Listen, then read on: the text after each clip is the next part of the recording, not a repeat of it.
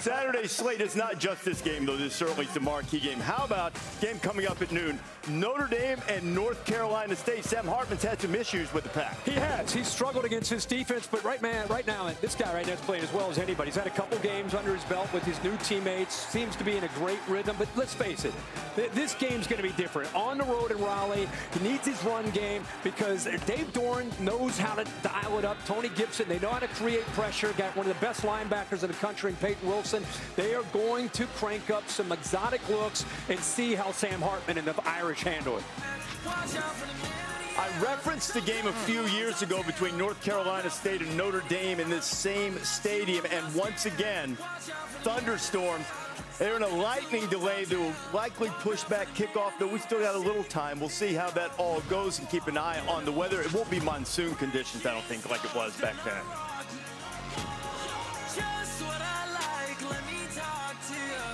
We'll see. DoorDash counting us down to kickoff on ABC, Notre Dame and North Carolina State. There was just another lightning strike in Raleigh. So they're holding off on the warm-ups at the moment. They'll have to make sure that lightning's cleared out of the area. We'll try to reach Sam Hartman when we get that opportunity. What a morning we have as we are AT&T 5G connected with Raleigh, North Carolina. How are we looking down there? Counting down to kick off Notre Dame and North Carolina State. And Sam Hartman, kind enough to join us as the storms have subsided, apparently. Sam, how does the weather look down there first? Uh, it feels a little bit like home, you know, back in my uh, home state, so it's pretty cool. But I think we just got the all clear, so trying to bang out some warm-ups while we're down here, but um, it's feeling good. Yeah, absolutely. You look amazing right now. Let's get those shoulders loosened up. You know, let's make sure we can keep doing this thing. Sam, uh, I just want to ask you. I assume. I, I, appreciate that. Hey, no problem. You look great. The beard is phenomenal. The hair is flowing. I mean, this is a magical era of Sam Hartman. I assume there was a lot of schools though that were looking for your services. Why did you choose Notre Dame, Sam? And how has it been so perfect, seemingly from jump?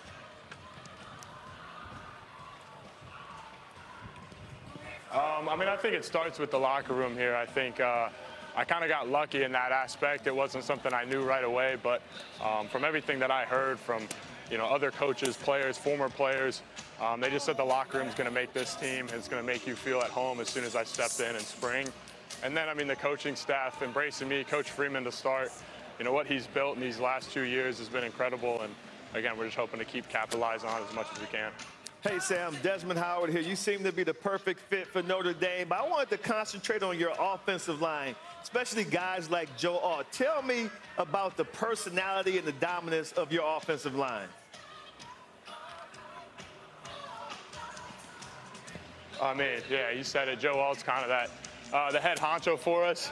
I Um, he looks like he's 15, but plays like he's a four, like a 40-year-old uh, grown man out here. So it's um, it's a special group we have. You know, Blake on the other side is just another. Again, if Joe's probably not here, we're all talking about Blake like he's one of the top draft picks in the country. So, um, and then obviously the center. Um, Zeke Correll, a guy I bonded with right away. You got to have that great connection as a quarterback and a center. And then the, the guards really stepped up. We didn't know coming to this year who was going to be our guards, but again, it starts up front. It's going to be a physical game this uh, this afternoon, and we're ready to ready to bring it to them. Hey, Sam, it, it's Kirk. Just just curious, for, maybe for your fans watching this game, what you've seen on tape this week, getting ready for Dave Doeren and Tony Gibson's scheme. I know you're familiar with with NC State and what they can do. Just your thoughts on the challenges they present today. Yeah, I mean, I think uh, obviously they run a they run a different scheme, they run a different defense than you see week to week. Um, but it really starts in the linebacker corps. A guy, Peyton Wilson, got a lot of respect for him. Um, incredible player. I've been playing against him since, you know, my freshman year. And um, and then the secondary is, you know, no, there's there's no. Um, I got told I have less than 10 minutes by our strength staff. Um, there's no uh, real drop off in the secondary too. They lost a lot of guys, we know that they got guys um, that are going to be able to play, and they're physical. They're physical from snap one to the very last snap, and we're hoping to match that physicality. While we were waiting for the weather to clear, Jen Lada brought us a great piece about your necklace and the rib. Are you wearing that right now? Do you have the rib necklace with you? I, I am not. Sadly, I, uh, it's a little sharp, so I don't want to stab myself with it. Uh, I might try and re-enter into the, the, rib cavity that's missing, but uh, no, it is it is safe and sound. It's safe and sound in a in a, a lunchbox-looking thing that says Sam's rib, do not eat. Um, and so we're, we're, it's all it's all put away for now. Hell yeah. hey Sam, you're the best, man. Thank you so much for spending time with us. I'm going to confess, it's taken me a little bit of time to get used to Sam Hartman, Notre Dame. No doubt. Yeah. Because yeah. he was synonymous with Wake Forest, but boy, what a great start he's off to with the Irish. Can't wait to watch you play today, Sam. Thanks for being with us. That a baby, Sam. Lost all three trips. Mm. Trying to change that against Different Cal. era out there. Hey, there's North Carolina State. We're talking Sam Hartman, talking yep. Notre Dame. Yep. Dave Doeren building a little something there.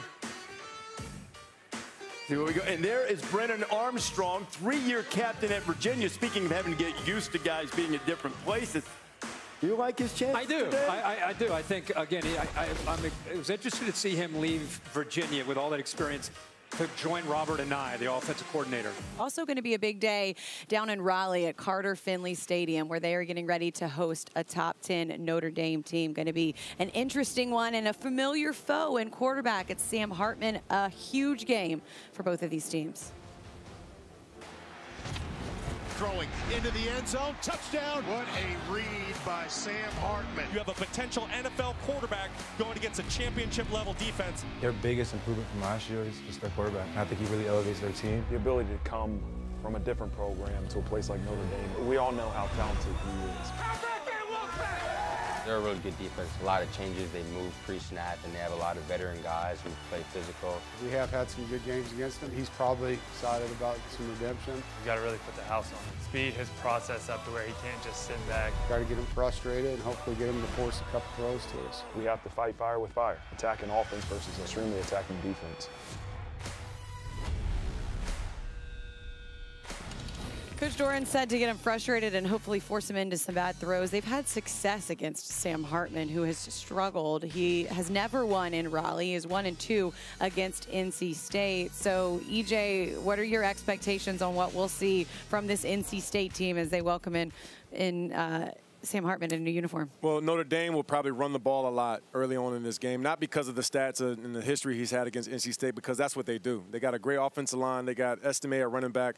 They got guys that can go up the field and really first see if NC State can stop the run. I think that's the key. Can their front four, even their front seven on defense, stop the run? And then as the game goes forward, if it's going back and forth, they can also spread you out and they can hit some receivers down the field vertically. So it's kind of pick your poison with this offense from Notre Dame, but specifically it's a clean day potentially for Sam Hartman if the defense can get after him. And it's going to be fascinating with it's pouring down rain there. You know, how much does that change your game plan? Mm-hmm. You know, are you calling those shots? Are you having to be ground and pound, which Notre Dame very comfortable with? But NC State, how do you attack that? You know, with the three-man front that they have, the four run linebackers running around, are they going to be exotic? Are they going to bring pressure? But those big guys up front, I, I, think they can do the job. It's a very talented offensive line coach. Joe Alt, one of the best in the country at left right. tackle. They're going to look to make an impact today. How can you create chaos amongst that well, line of scrimmage? I think, I think weather's huge. When, when, it's, when the weather's bad – the big, more physical teams have a better shot at winning, and the team that can run the ball the best. And that's what you guys have been saying. So it's going to be tough to throw and catch in the rain. Wind is worse, but rain is tough to deal with. Yeah, I, I, agree. It favors Notre Dame because of that big offensive line and how physical they are. But uh, NC State's got to find some type of offense outside of Brennan Armstrong, right? right? It's whether it's a running and back stepping up. Yeah, yeah, yeah you got to be able to run, but I mean, just even a little screen pass or right. something to get it to the edge to be able to test out this Notre Dame defense because I'm not worried about the guys on the outside at all if I'm Notre Dame. I'm stacking the box and I'm stopping the run. Yeah. It's a big opportunity for NC State, Brennan Armstrong on this stage and the conference. You guys said it earlier. Notre Dame 28 and 0 against the ACC right now. We'll see if NC State is able to snap that streak. How about NC State and Notre Dame? This is a big mm. one for a lot of reasons. What do you think? It, it, it, hurts my pride to say it. Oh man! But I, I got to go with Notre Dame. It's about my record, right? I'm worried about my record. I got to go with Notre Dame. I love you, NC State, but Notre Dame, that offensive line is too big and too good. Yeah, I'm, I'm going Notre Dame here too. I think weather's going to play a big factor, as we just were discussing that. I think Notre Dame's going to run the football a ton. But that ball bounces weird when the weather's like that. Maybe NC State picks it up, but I'm going Golden Domers. And maybe the rain could be the you know the equalizer, equalizer yeah. between the two teams as far as what Notre Dame does well and NC State does well. I like Notre Dame. I, I, excuse me, I like NC State at home. Uh, I know their crowd may not be huge because it's a day game, but I like NC State overall. Uh, I know the ACC is due. It's only been, what, 28 games in a row? but I don't think it's going to happen today. It's going to be 29 and 0 against, uh, or at least 29 in a row for Notre Dame versus ACC. Notre Dame is 1 and 13 on the road as a top 25 team, you guys, um, when they're paying unranked opponents. I'm going to say they get one more win and try Yeah. to get that. I've got Notre Dame as well, so I think that they're going to take care of business on the road at Carter. Finley Just had to be Stadium. But good Don't job, lie. Had to be EJ, because I was getting a little worried that it was going to be the bottom line all Yeah. looking the same. So glad that you went that way. North Carolina State and Notre Dame dealt with some weather this morning. The Wolfpack two and one all time against the Fighting Irish, and also two and one against teams led by a starting quarterback called Sam Hartman. He's been sacked 13 times and thrown six interceptions against the Wolfpack. And to give that context, that's twice the rate against all other ACC opponents in his career while at Wake Forest. Will this be a change with the Irish in the pack today? Throwing into the end zone. Touchdown. What a read by Sam Hartman. You have a potential NFL quarterback going against a championship level defense. Their biggest improvement from last year is just their quarterback. I think he really elevates their team. The ability to come from a different program to a place like Notre Dame. We all know how talented he is. They're a really good defense. A lot of changes. They move pre-snap, and they have a lot of veteran guys who play physical. We have had some good games against him. He's probably excited about some redemption. You got to really put the house on him. Speed his process up to where he can't just sit back. Try to get him frustrated and hopefully get him to force a couple throws to us. We have to fight fire with fire. Attacking offense versus extremely attacking defense. And here's some graphic representation of what I talked about when Sam was at Wake Forest. Completion percentage just over 50% and a negative touchdown to interception ratio in the last two meetings against Wolfpack. One of those he actually won, though. Yeah, well, the thing about Sam Hartman that I love about him is his moxie, his swagger, and his accuracy in field for the game is at a level that not a lot of college quarterbacks are ever able to get to. The amount of football he played at Wake Forest successfully has set him up to walk into a locker room here at Notre Dame and have success quickly. And I'm not just saying like, oh, stumble out of the gates. Against Navy, he was putting it on guys 40, 50 yards down the field. And when you have a veteran quarterback, he can see this man coverage. Where am I going through my reads? Who cares? Let me throw to a spot. Tut. Yeah. Keep it moving. Sam Hartman has his veteran moxie swagger, but he has a talent that not a lot of people even play on Sundays have. That's he can feel the game, see the game, and put it on a dot. Sam Hartman's moxie is why they're going to be a different team this year, but also the way he can throw the rock kind of answers the question on whether or not Notre Dame needs the weapons that other schools have because he can throw guys open. Right. So I think it's a perfect marriage. I think what Sam does well is what Marcus Freeman and Notre Dame needed, and it's a massive boost up there. I tell you what, I think Notre Dame so far this season they're playing winning football.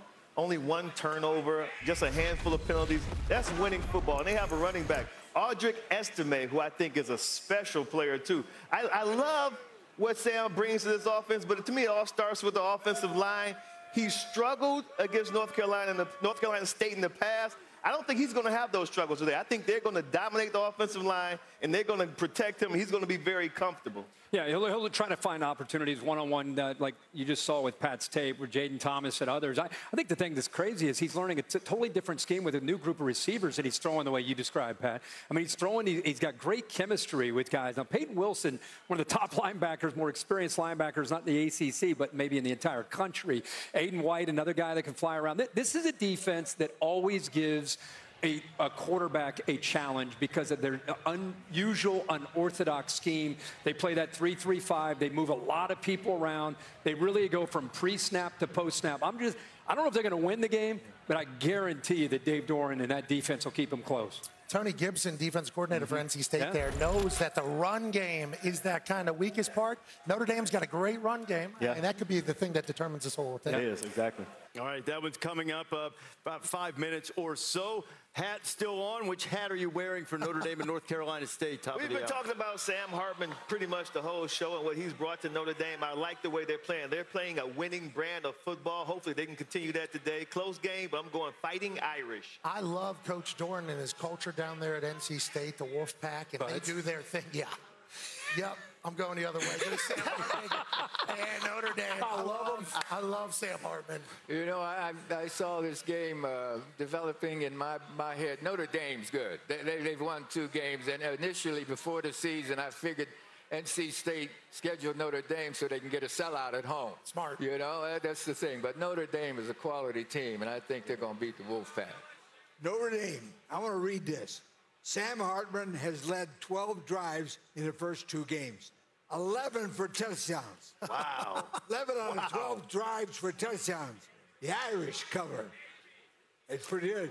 Yeah, they are good. And uh, I, first of all, I know Marcus Freeman. He's a good man. I have a friend of his. I wish him well. I love Sammy Hartman. I love the whole thing. Uh, but I'm picking NC State because of defense today. Peyton Wilson, one of the best linebackers in the country. Dave Doeren is a very, very underrated coach. Um, I'm going North Carolina. I'm going Wolfpack. That's coming up in just a few minutes. It was a dark and dreary morning here in Raleigh with thunderstorms and plenty of rain. But that hasn't dampened the spirits of NC State fans. They are here. The tailgating went on as planned, and Wolfpack Nation is fired up. Their quarterback is Brennan Armstrong in his first year at NC State after five at Virginia. His opposite number is another 60-year quarterback in a new place. Sam Hartman's in his first year at Notre Dame and back in his native North Carolina, where he spent five years as a record-setting quarterback at Wake Forest.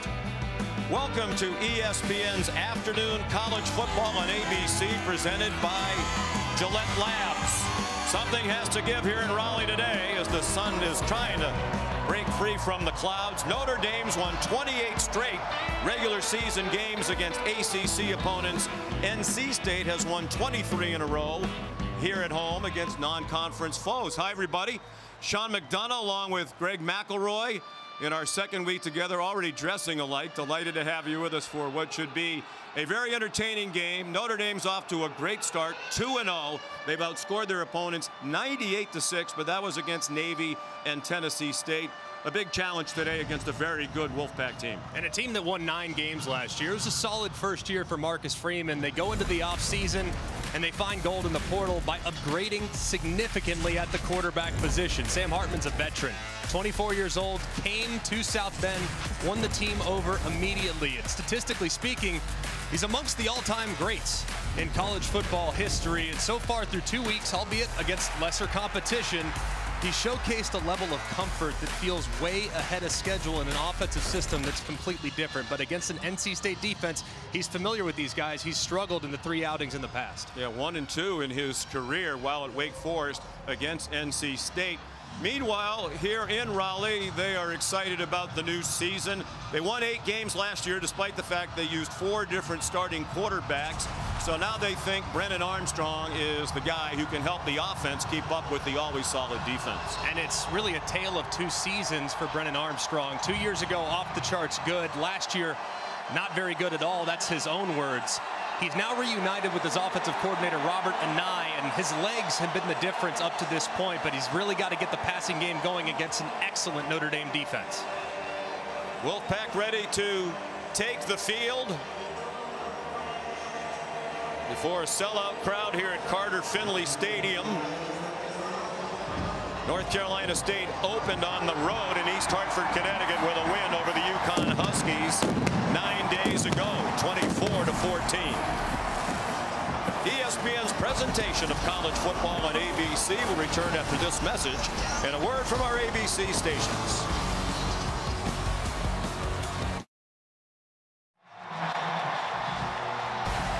This is the ACC on ESPN from Carter Finley Stadium, where we could have more bad weather a little bit later this afternoon. We're hoping that holds off until after this game is finished.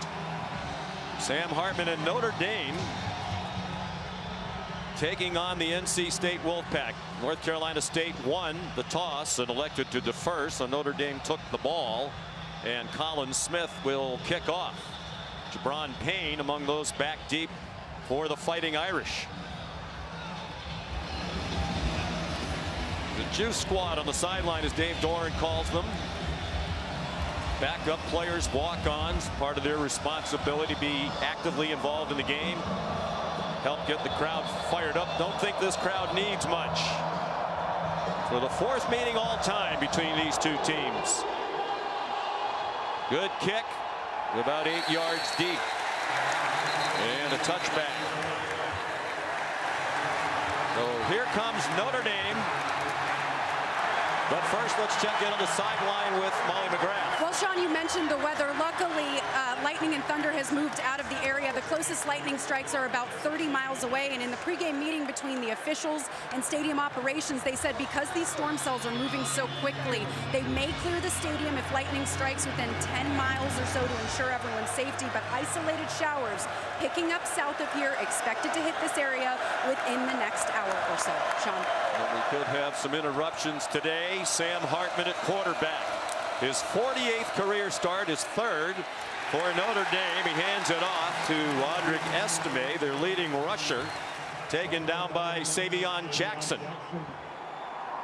Sam Hartman makes the position really look easy. He's looked so under control these first couple games in a fighting Irish uniform. Very accurate passer, but don't sleep on his mobility. His legs have been the answer at times when the offensive line has given up some issues in protection. So very athletic, very, very dialed in.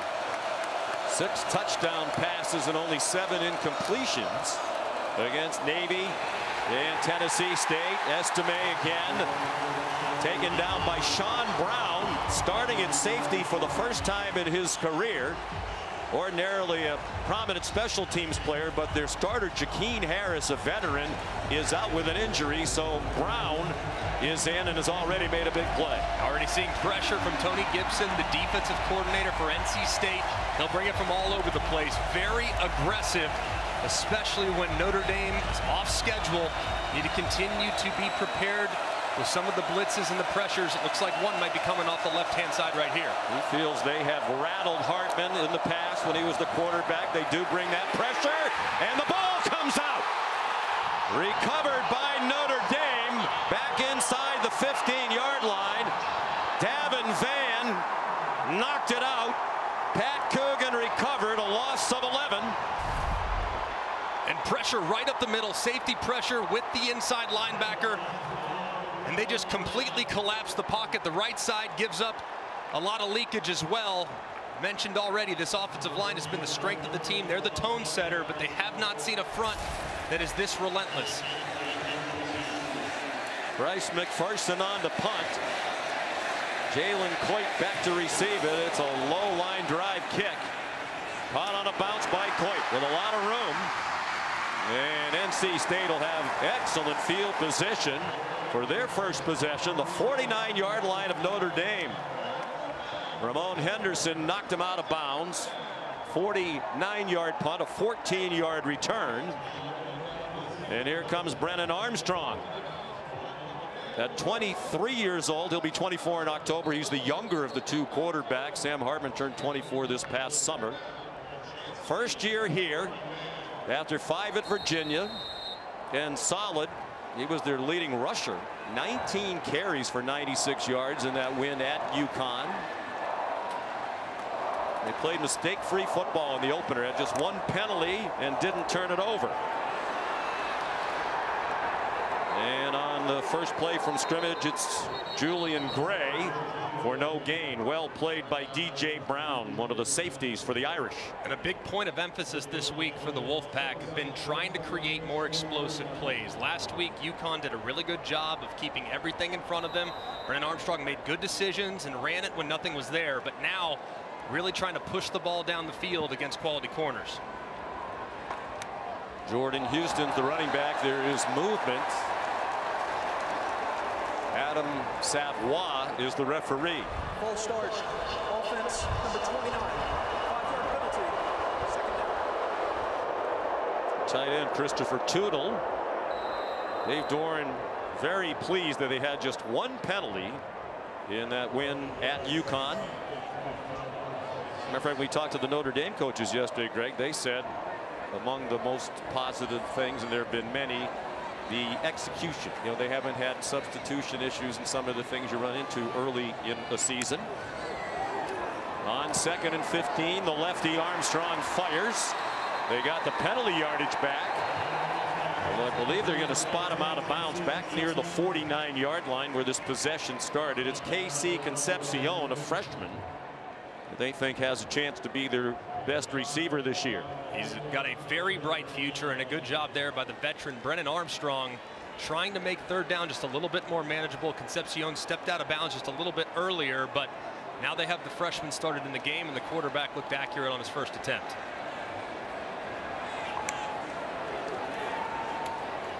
Flushed from the pocket, and he throws it away. Well, they didn't have an explosive play. They didn't have a play of more than 20 yards against UConn. Their longest pass play was 19. The longest run was 18. But Brennan Armstrong told us, Greg, I felt like if I didn't make a mistake, we were going to win the game. We had the better team. I checked it down a lot. I didn't throw it deep down the field very often. They know they'll have to take some shots today against the Notre Dame team. Sometimes a check down and a punt, especially with the defense that you have on your side of the field. Sometimes that can be considered a positive drive. But of course, like you said, against a capable offense, they got to score. Caden Noonkester under pressure. End over end punt. Chris Tyree makes the fair catch near the 10 yard line. 39 yard punt. Sam Hartman back on offense after this.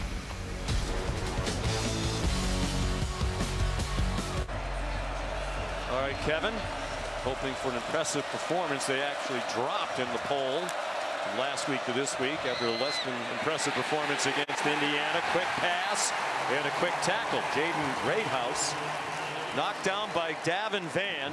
We mentioned the history for Sam Hartman three times while at Wake Forest. He played against NC State. Went one and two. But despite the big passing yardage numbers, the six interceptions in three games and 13 sacks, a big problem. And he's already been sacked once today. Tony Gibson, the defensive coordinator, thinks they have been able to rattle him in the past. They forced an interception on the first possession of the game last year. From Hartman to Jakeen Harris, who's not playing today. Estime, nothing there as well. C.J. Clark in the middle of that front three on defense. Just a terrific start on first and second down for NC State. Backed up the student section just to Sam Hartman's right. It's the loudest part of the field right now.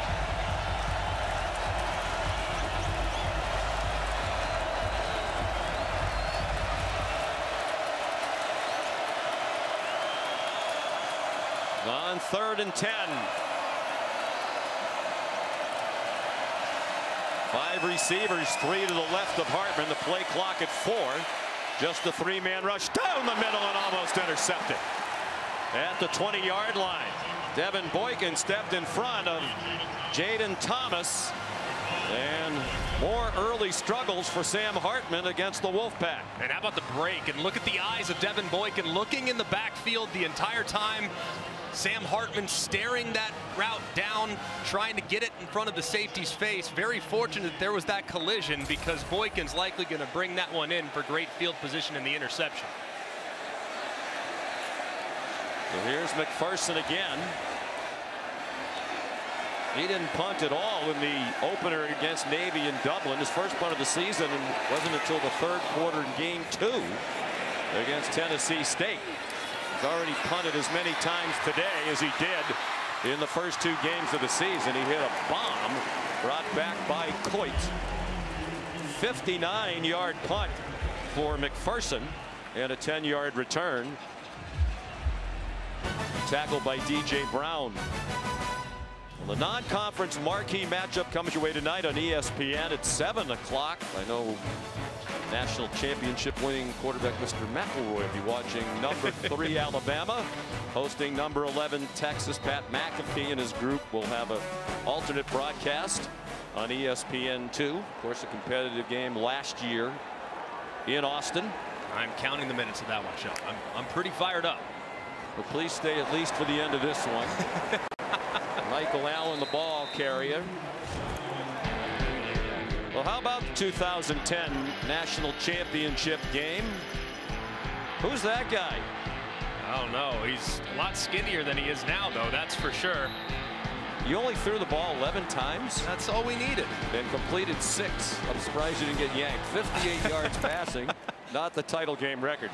Mark Ingram and Trent Richardson were pretty good. Maybe the record for the low end. That was Alabama's first national championship under Nick Saban. Pass for Michael Allen is incomplete. You want to add? I managed the game to 1 0. That's all that matters. Let's not. Stats are just a glam spot. What do you think about that game tonight? I think it's going to be a heck of a showdown. I think Texas is the most talented Texas team since 2009, and, and they match up in a lot of great spots. But man, winning in Tuscaloosa is extremely difficult. Third down and six. Neither team has had a first down yet. Here's pressure from Notre Dame, and the throw on target, but not taken in. Intended for Porter Rooks. That was a good-looking throw by Brennan Armstrong. Thomas Harper, the transfer from Oklahoma State, had the coverage. And that was an excellent throw there by Brennan Armstrong. Exactly where it needs to be. And the transfer, as you can see, Thomas Harper closing in over the top. Great coverage and a great defensive play. Well, if there are questions about NC State, the wide receiver position might be one of them. Although the coaches don't really feel that way. Caden Noonkester punting for the second time. And Tyree another fair catch. They'll have four yards better field position to start this possession after a 40 yard punt.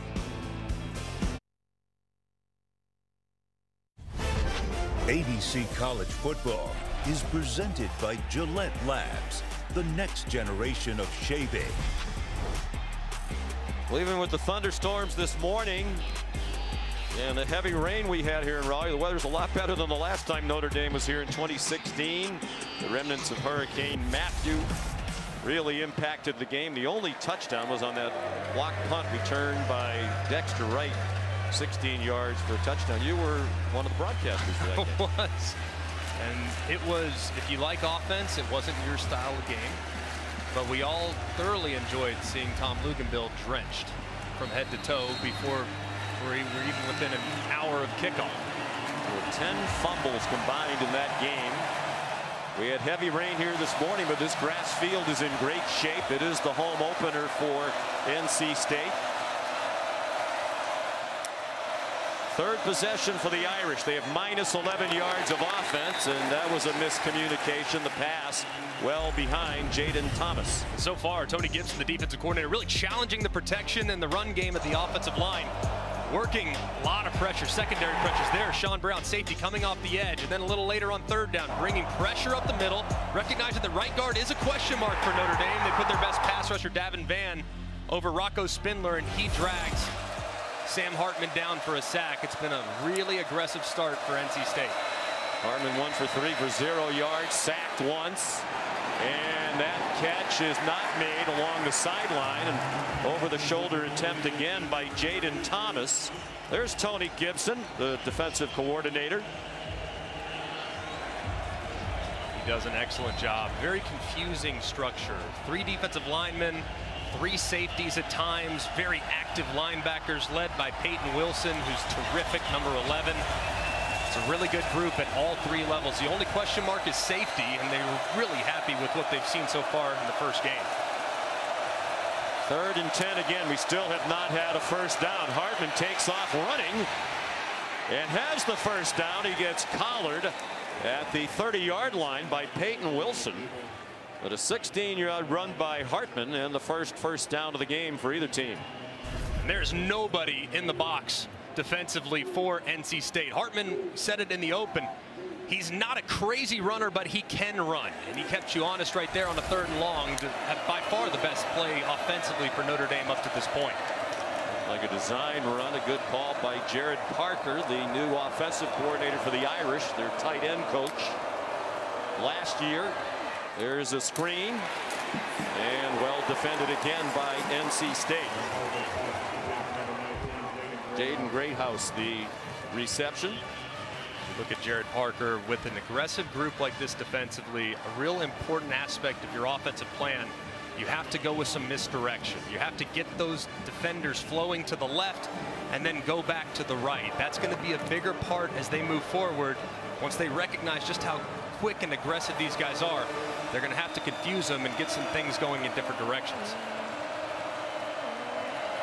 After a gain of two, second and eight. Here comes pressure again from NC State. A man wide open in the flat. And another Notre Dame first down. Jadarian Price, part of what has been a five-man rotation at running back. They don't have Devyn Ford today as a part of that. But eight touches in the first two games and two touchdowns for the Irish. That's a gain of nine. And Audric Estime still the bell cow. He's going to get the most looks at running back, but more a traditional downhill between the tackles type of back. But Jadarian Price and Jeremiyah Love, two youngsters with a ton of speed that can really break the game open in the open field. Price stays in as the running back, a sophomore from Denison, Texas. Good hole on the left side. And he has 11 and a first down and a big tackle made by Devan Boykin, or that might have gone to the house. And great job on the counter action with pullers all around. And you can see just the flowing linebackers, they meet them in the spot, but it's well accounted for by the Irish offensive front. And a nice run play design there by Gerad Parker. They think they have, if not the best, certainly among the best offensive tackle tandems in the country. And Joe Alt, the left tackle, consensus preseason All-American, and Blake Fisher, the right tackle. This would, be a, this would be a spot here, Sean, where you might take a shot downfield. On first and 10, nearing six minutes to go in a scoreless quarter. Good cut by Price. He got banged down by Boykin. But Notre Dame finding a rhythm on offense. Another nine-yard gain. Offensive line starting to get a little movement up front. It's very difficult against this group. Number one goal every time they take the field defensively is to stop the run. And that's a really tall order against Notre Dame. Another shot opportunity here. Second and short, heavy play action. See if you can't throw it over their head. Jeremiyah Love, an electric playmaker, is in at running back. They faked it to him. And they have enough for the first down. Completion to Mitchell Evans. They're replacing a great tight end and Michael Mayer. Haven't used the tight ends as much, but they think they'll be more involved as the season goes along. And they feel good about their production. Not a guy that's just going to completely be the centerpiece of your offense like Michael Mayer a year ago, but guys that are certainly capable and are very willing along the line of scrimmage to contribute in the run game.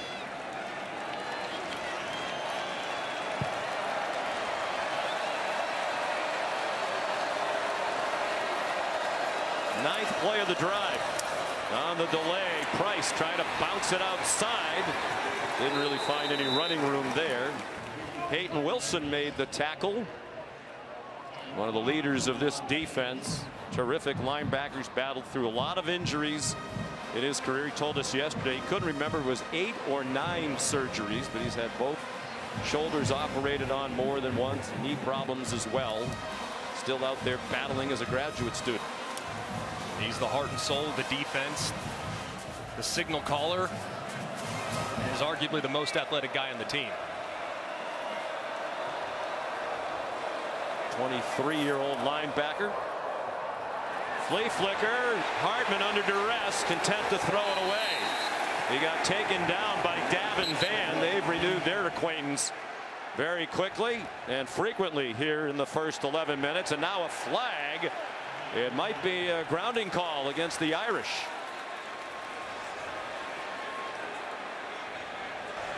Intentional grounding. Offense number 10. Ball placed in the spot of the foul. Loss of down. Third down. Marcus Freeman was out on the field to argue the call. He's still in conversation with the officials.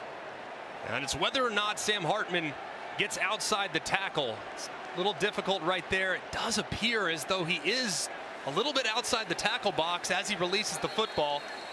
It's good pressure there by NC State. But that's one right there. Maybe they'll take a look at it because it did look like he had broken outside. Let's bring in Matt Austin quickly. Matt, what'd you think?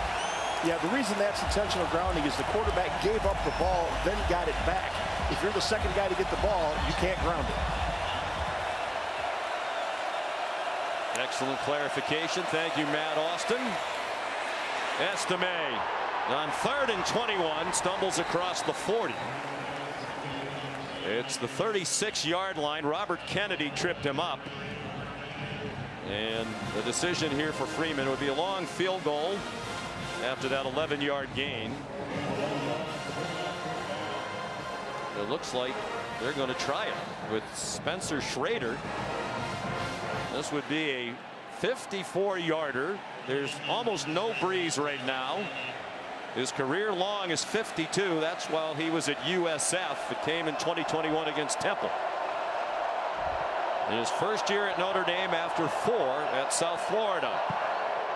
And he has plenty of leg on that one. And it is good. Spencer Schrader from 54. And the Irish are first on the board. Well, Marcus Freeman told us yesterday he has a big leg. He showed it off.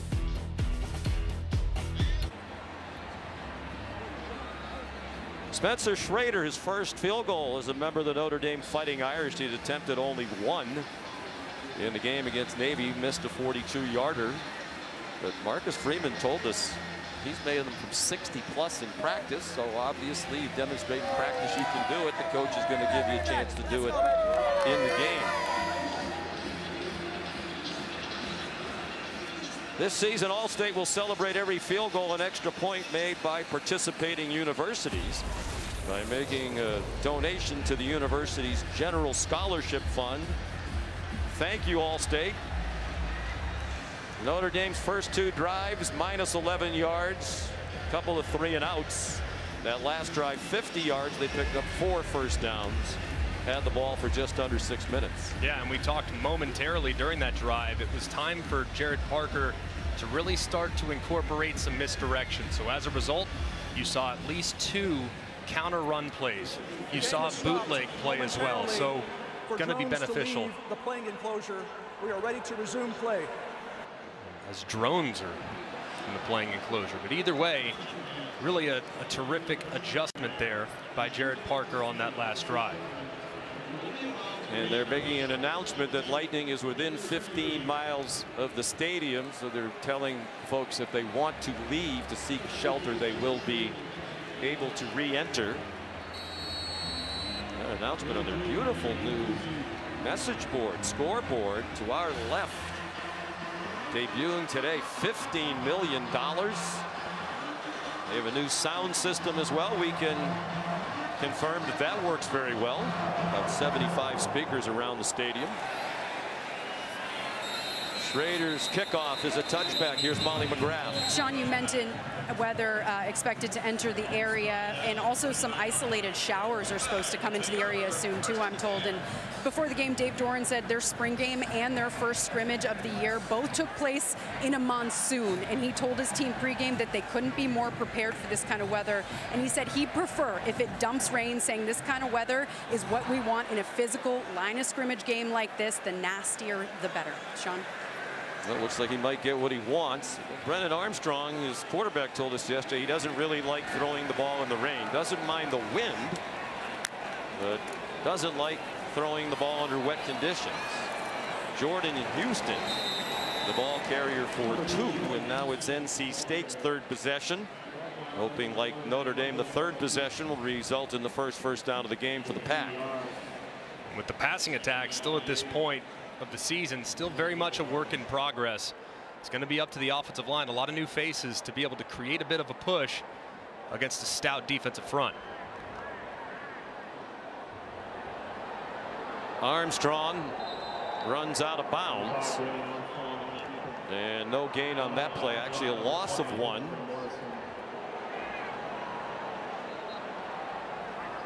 So eight plays now on offense and a total of 10 yards for the Wolfpack. Shades of a year ago when they had a very difficult time on offense in part due to injuries to their quarterbacks especially Devin Leary who was the preseason ACC player of the year last year.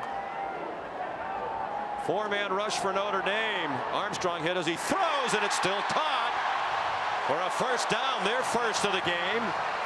Bradley Rozner, big target, transfer from Rice. And a good job to hang in there by Armstrong as he got hit by Leofow. And a good pressure applied by Leofow on the game. And how about Rozner climbing the ladder and making a play at six foot four? Those are the types of balls he's got to reel in. In his eighth year playing football, either in junior college or college football, there's another big hit by Leofow. This one on KC Concepcion. Loss of two on that play. They think Rozner will be more involved as the season goes along. He didn't show up here until August, so he is very new to this NC State program, but had 101 career catches at Rice. Jordan Houston threw a big hole. And he lunges forward for another NC State first down to the Notre Dame 42. An excellent job by the left side of the offensive line. There wasn't really any Notre Dame defenders left of the center. The second level they were anticipating pass they took off. And as a result, it was a well executed run play for the pack. They have a new offensive coordinator in Robert Anae. Tim Beck was the OC here last year, now the head coach at Coastal Carolina. So Anae reunited with Armstrong. He was Brennan's offensive coordinator two years ago at Virginia when they had a prolific year. Here's Concepcion firing downfield. It should have been intercepted through the hands of Benjamin Morrison.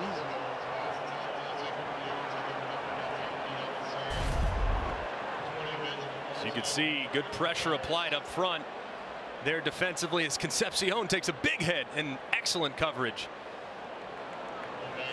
by the outside Jaden Mickey and then over the top there by Benjamin Morrison.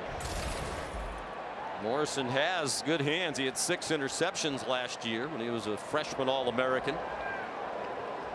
Made his high school ball at Brophy Prep in Phoenix. Grew up in Leesburg, Virginia. Final seconds of the first quarter. 3-0 Notre Dame. Armstrong scrambling. And they'll give him just inside the 41-yard line. Leofow there again with Javontae Jean-Baptiste to transfer from Ohio State. See a little bit of the toughness on display there by Brennan Armstrong, who's kind of looking at his right shoulder as he walks to the sideline, delivering a big blow. You're not going to see him slide. Robert Anae's been trying to do so for years. He's going to lower his shoulder and finish his runs. It just shows you how competitive he is as a player. He got banged around against UConn. Said he was glad for a couple of extra days in between games. ESPN's presentation of college football on ABC will return after this message and a word from our ABC station.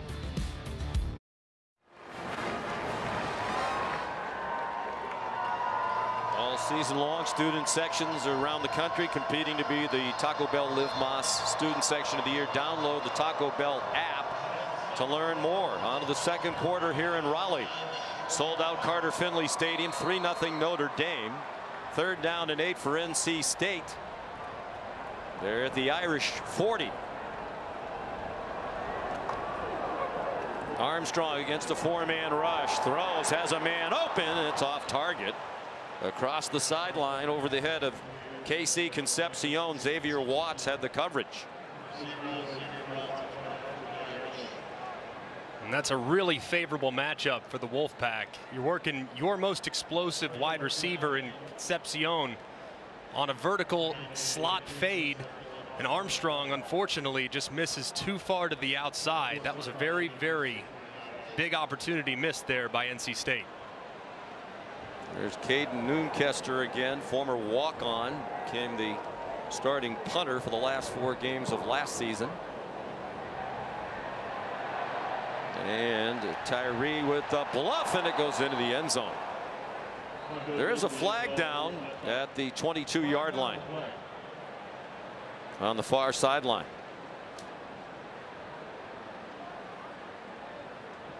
There is no foul on the play. First down, Notre Dame. Some featured games on ESPN Plus coming up later today.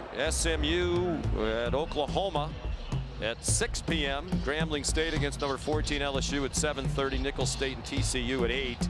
To get ESPN Plus, go to ESPNPlus.com or download the ESPN app. That SMU Oklahoma game is really interesting. Obviously, SMU going to be joining the ACC. Due to inclement weather. Well, they've made the announcement that the game is being suspended. Apparently, Lightning now within that eight mile radius. And we believe that to be true. ESPN, as you might be able to tell, although our coverage is so terrific, led by Phil Dean and Scott Johnson, we've been down to four cameras here for the last few minutes because we've taken our personnel off the field uh, several moments ago. So Marcus Freeman talking to the officials about what the protocol will be here. They knew this was a possibility when they met pregame. Fans being asked to move to the nearest exit and follow the instructions of security personnel will return to their vehicle. There's also shelter next door. One of the nice things about this setup, PNC Arena, the home of the Carolina Hurricanes of the National Hockey League, is just a few hundred yards away. Well, that's a great place to go during the storm that we believe is coming. We're told by Mike Sundheim, the terrific PR guy for the Hurricanes, that they have seven of their players here today. Watch Notre Dame and NC State. So weather delay just seconds into the second quarter. Notre Dame up three to nothing. We'll be back in a moment.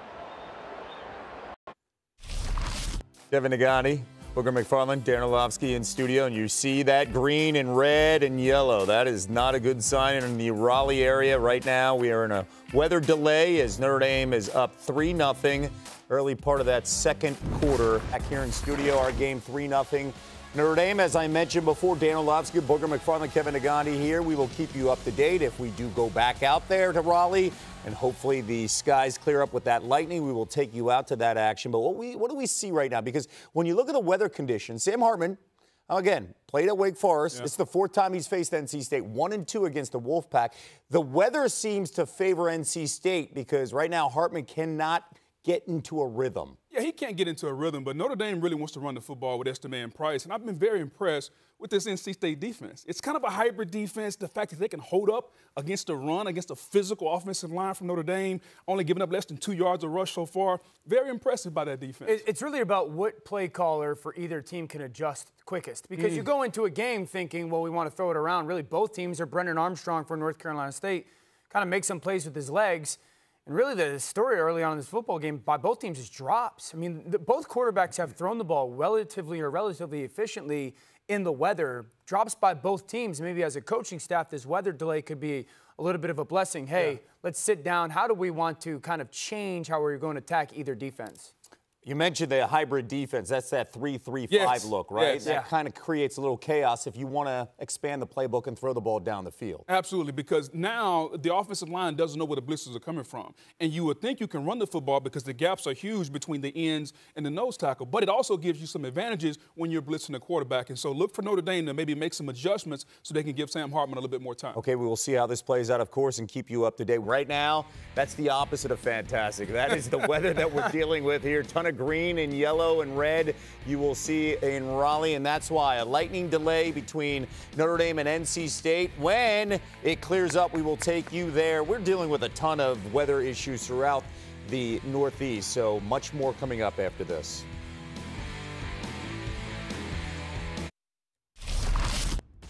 Dan, Boog, Kevin back with you, and that is not a sight many uh, football fans want to see. The rain is not the issue, it's the lightning through the clouds in Raleigh that has everybody concerned as we're dealing with a weather delay on ABC between Notre Dame and NC State. Right now, the Fighting Irish up 3 0.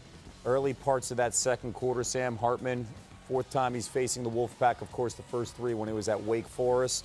So, dealing with the weather issues throughout the country right now. And in Raleigh, it's 3 0 Notre Dame against NC State. All right, we'll keep an eye on that game on ESPN. Right now, we're keeping an eye on the weather as we're dealing with that rain and, of course, the lightning delay. That is the reason why we are here in studio and not in Raleigh. But Molly McGrath just caught up with uh, Marcus Freeman, the head coach of Notre Dame, with much more.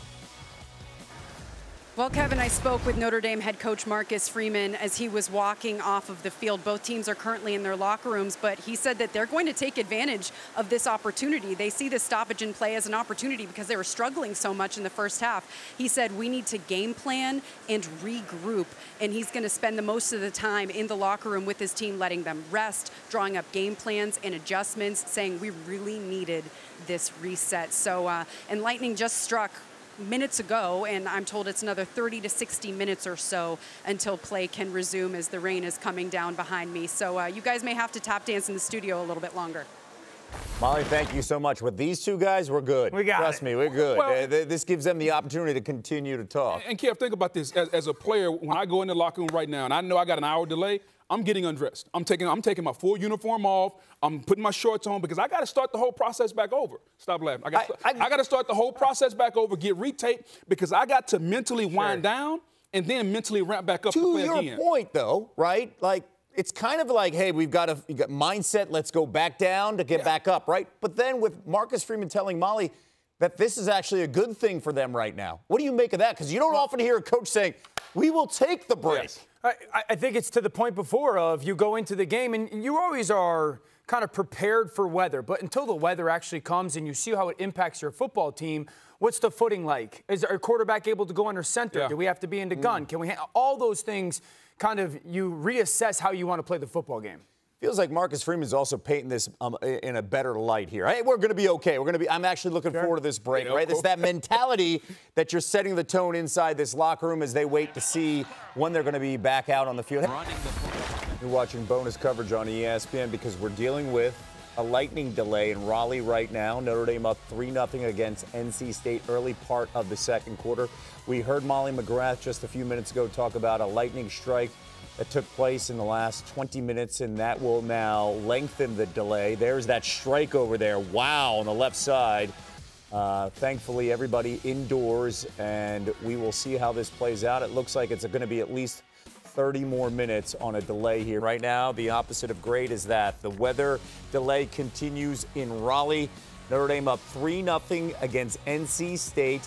Lightning delay at the moment. We will have uh, an update from our game crew coming up right after these messages on ABC.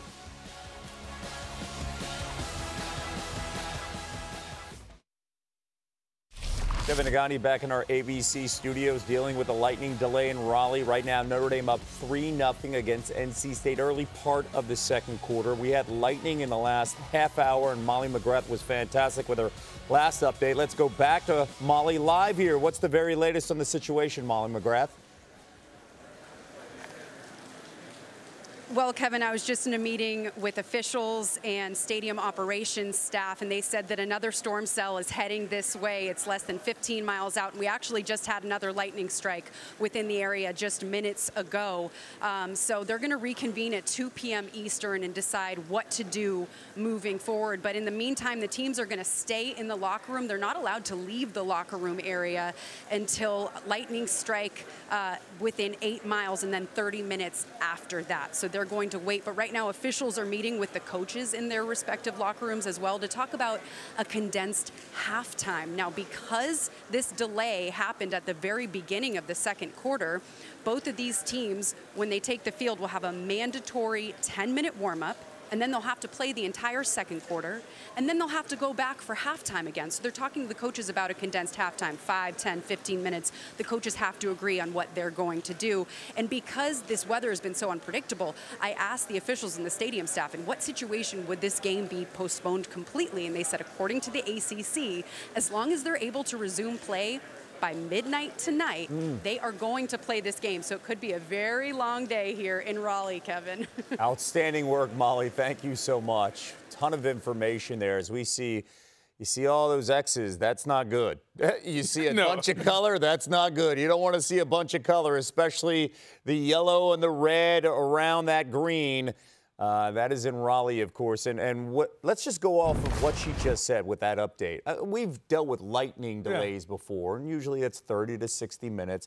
You let it pass. The idea, though, that you can get another Yeah. cell coming in, another delay, and potentially you play that entire second quarter and then you have a five to 10 minute halftime and then you got to play a second half. What's the approach here if you're a head coach? Well, I, I, think if you're a head coach, you tell your team, all right, guys, let's start over. Everybody get undressed, put your shorts and t-shirt on, and let's start this as if we're coming in here at the beginning of the game. Mm. Let's let's do that. Let's relax. Let's get something to eat. Nutrition is going to be an issue. It's going to be a long day. We've got to make sure we're, we're hydrated and we're fueled. Second thing is, if there's not going to be a quote unquote halftime, if this is going to be your halftime, coaches, any adjustments that we need to make, let's make them now because we may only have like five minutes after the second quarter because we're trying to get this game in on time. Yeah, uh, two things. So at 12 o'clock start, most players are getting to the field around 9, 9.30 yeah. in the morning. So they've already been there for four plus hours. Yeah.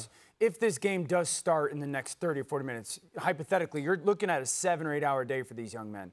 That is a dual, a daunting mental yeah. Yeah. thing you know, Boog knows this. So often, coaches throughout the offseason, they throw these curveballs at players of, you know, sudden things of, hey, practice is going to be in five minutes instead of 45 minutes, or sudden changes, or, and the message of control the things you control. Whoever's done that the best in the offseason is going to benefit the most from it because it's hard. It, candidly, it is. You're sitting there and you just have no control over anything that's going to happen. And what team mentally, more than X's and O's, is capable of kind of just saying, all right, we can not control it. We're just going to go play at some point and not taking a massive step back. Whoever's kind of handled those situations better in the offseason is going to be better equipped And it. then also realize once we get back on the field, the field's going to be wet.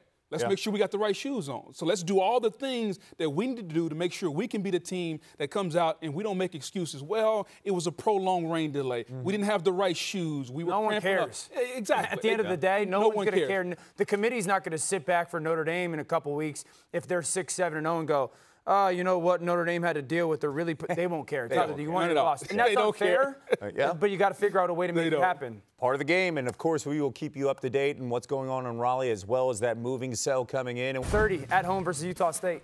Wow, it and balances you kept throwing? itself out. We won. You kept throwing. You, you kept. You, you kept throwing. We didn't have any options behind me. you kept. And you won. Oh my goodness.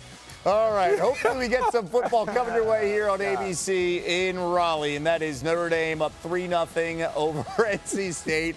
We're dealing with a lightning delay. That's why I love you, Dan. You tell us the good, and you're yeah. also going to admit the bad. I'm just one of 30. Just, I got to say next to Bowen. Yeah, that, that might be your best game. You're one of 30 and you won. One of 30. I think the one was a bubble. More after this. Oh.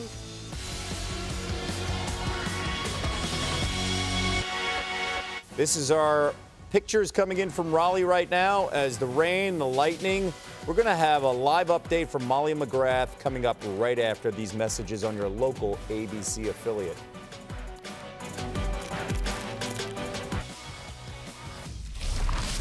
Kevin Negandhi back in studio. This is a great sight to see in Raleigh. Fans coming back inside the stadium right now as they've been dealing with the lightning delay Right now, Notre Dame up 3 0 against NC State, early parts of the second quarter. For much more in the very latest on when we will see some action, let's go back to Molly McGrath. Molly? Well, Kevin, there was good news in my most recent meeting with officials, the schools, and stadium staff. We are now less than 10 minutes out from the all clear here in Raleigh, so teams can start to take the field around 225 Eastern. There's a storm cell south, but it's just going to be rain. There's not any more lightning expected for the rest of the day, hopefully. So teams are going to take the field at 225. They'll have a mandatory 10-minute warm-up, and then play will resume, or supposed to resume, at 2:30, 2:35 p.m. Eastern. And um, take a look at this interesting video. There was a lot of talk in that meeting about issues with the game clock. While we were taking shelter under here, there was a loud boom. All of the power went out in the stadium the large um, video monitor was struck by lightning here, and they were worried about the game clock and whether or not it was able to be used in the second uh, in the second half of the game. But the game clock is fine; they were able to resolve that issue. So they're going to go out onto the field, uh, resume play at 2:35, and then they're going to play the second quarter as is. And then the teams have agreed to a condensed 15-minute halftime. Kevin. Excellent stuff there, Molly. Thank you so much. I mean, the game clock the big board struck by lightning. I'm just I'm just happy everybody's safe as we are 17 minutes away potentially from a kick. But that could play a huge role if, if, if they didn't have a game clock for quarterback. Tell us your thoughts about that. Um, just to know kind of every single play, one of the routines as a quarterback is play gets done and you're looking to the sideline, you're looking to the clock, you're looking to the sideline because at some point, you know, you gotta you gotta check the, where the play clock is or whatnot, and just understanding game situation, and then you got to be counting on the official to kind of give you that information. So, you know, I think both these teams have veteran quarterbacks Yep. that have played a ton of college football, so it's not like this is a young man getting his first or second start in college football and he's got to deal with that. So hopefully that doesn't become that big of a burden. Um, I think the fact that they handled the situation properly Yeah. and hopefully they'll be able to get the game started. But it was interesting to Molly's point that there's another cell coming, Boog, and it's going to be at least rain. Mhm. So it, you know, that this is when. As a coach, you're talking to your players or leaders, quarterbacks, Yep. you're going, hold on to the football, hold on to the football. We win this game. Whoever, whoever doesn't give the ball away, who's going to win this football game? Well, and now we know at 2:35 Eastern we're going to start playing ball. So as a team now, we have something to look forward to. Sure. We can focus. Let's get our game plan together, make our adjustments. We now have ball coming. So hopefully the guys can get their uniforms back on because I had them getting undressed earlier. Yeah. Get Like the uniform 12 times? 12 times. Get your uniform back on. Let's get stretched out because we don't need any hamstring pulls. We don't need any soft tissue injuries. And let's get focused and ready to, in the mindset to go back and play football. The music so, back on. But yeah, exactly. Da- Dan and Dan would prefer country music. Dan, because we were playing that in the green room earlier. Dan talked a little bit about the quarterback perspective. Yeah. And you're going to run the football. Mm-hmm. I want the defensive lineman perspective in a game like this. Are you loving it because you know you're going to see the ball coming your way multiple times with carries? Well, you also know that it's, it's going to be a, a run fest. Yeah. You have to worry about your footing because you're going to get double teams. You got to make sure you can anchor and hold up against those double teams. No longer is this a fast track where we can go get the quarterback. Now you got to go in. You got to tighten that chin strap up. Yeah. It's going to be a physical style of football. I want it to rain. Football weather to me is about 60 degrees, overcast, maybe a few sprinkles. I don't want it hot. Big fellas like it nice and cool, and so this is going to be a game where, as a nose tackle or defensive You're lineman, loving this. You can make a ton of tackles. Get a name for you. Yeah, Kev. that's all. Yeah, In this is how the end, do this. is how how our boy gets his name in the paper. This is how Booger gets his name in the paper. And trust us, it's like 64 degrees in the studio because you don't want it hot. This so is we're true. aware. Uh, We're aware, 64, you're being very kind. Oh. All right, we will keep you up to date on the situation, but the good thing is fans are coming into the stadium, and hopefully we have some football coming your way in the next 15 minutes.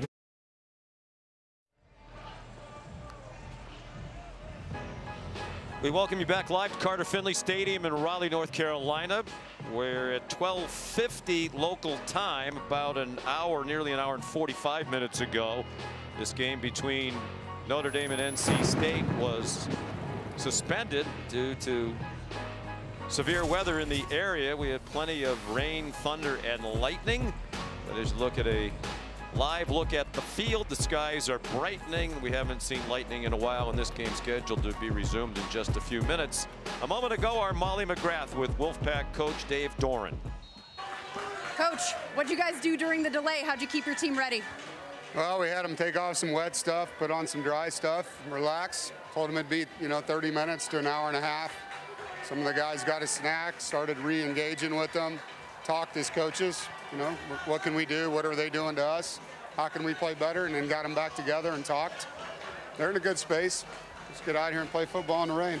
Rain is expected to continue. How does that change your game plan?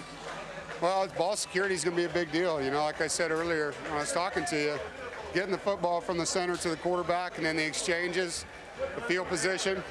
It's going to be one of those games. It's going to be an ugly old school game. All right, thank you, Coach. And great work by Molly during the delay. Sean McDonough and Greg McElroy. I asked you during the break if you played in a situation like this during your time at Alabama. You said not one that uh, was this long. But when you heard Dave Doeren talk, you get the feeling a little bit of advantage here to be the home team in this situation. It is. You have all the amenities at your disposal. Of course, the away locker room setup, in every stadium's a little different. Some are nicer than others, but the home team just has so much more access to the things they might need to re-engage in the game. So it'll be interesting, I think, for Notre Dame to get off to a really fast start because they were starting to figure things out offensively before the end of that weather delay. And they're ready to go. Sparse crowd back in the stadium. It'll be interesting to see if more people come in as we go along. It's first and 10 for Notre Dame. There was a touchback on the last play and a big hitter right out of the break. Audric Estime is going to go the distance. An 80 yard touchdown.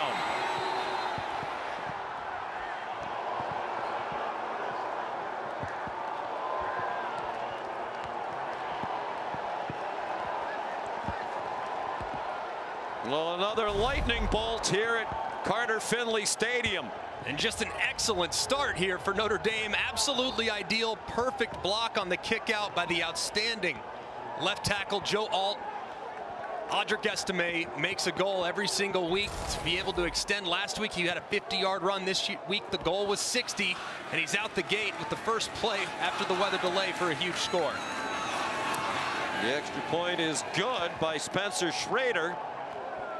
Well, the offenses on both sides were struggling before the break. There were 83 yards of combined offense 15 seconds into the second quarter. Those offensive coaches had time to figure out what they needed to do to get better, and they just did on the Notre Dame side. Here's Molly. Yeah, John Marcus Freeman said going into that delay that they needed that reset. Uh, but to Greg's point, this delay definitely was less comfortable for Notre Dame. Dave Doeren mentioned the first thing he did during the delay was put his players in dry clothes.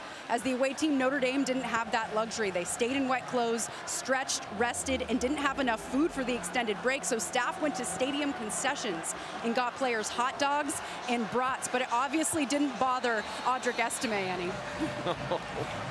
He had a hot dog. It didn't slow him down.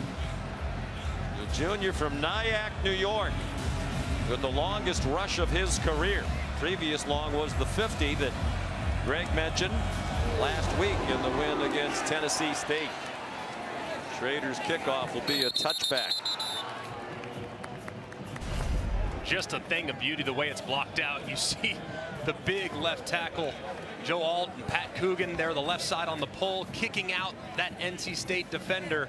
And Audric Estime, nobody home on the right-hand side. He cuts it all the way back and shows off the speed as Marcus Freeman has to love the start for the Irish here after the delay. They had 39 yards of offense before that play. Now they have 119. NC State has only 44 yards of offense on 14 plays. Can they get it going? Brennan Armstrong, the quarterback. Design run after the play fake. He's in trouble and taken down behind the line of scrimmage. Xavier Watts from his safety spot. Closing quickly.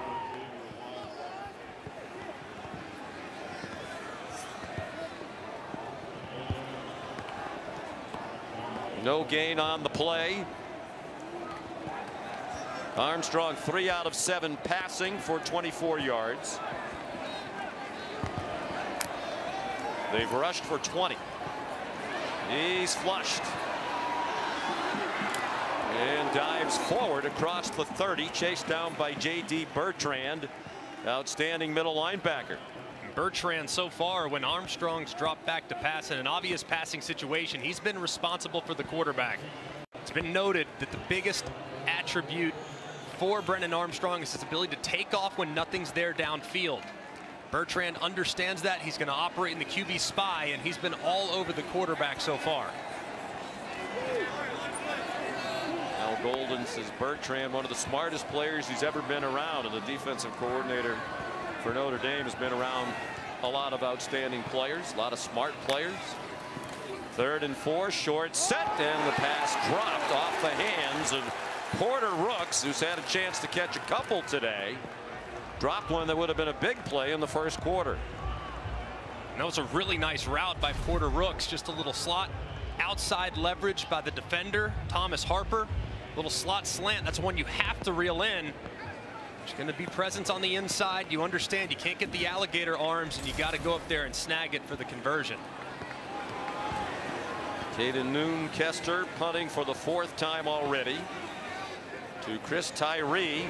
Excellent speed as their punt returner.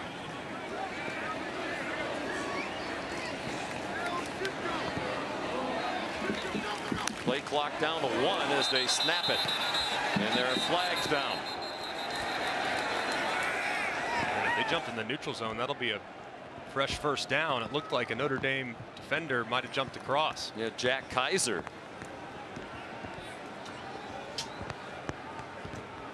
Officials conferring Adam Savoie is the referee. Offside. Defense number 24. Offside penalty results in the first down. A big mistake by Kaiser. And it gives the Wolfpack a first down.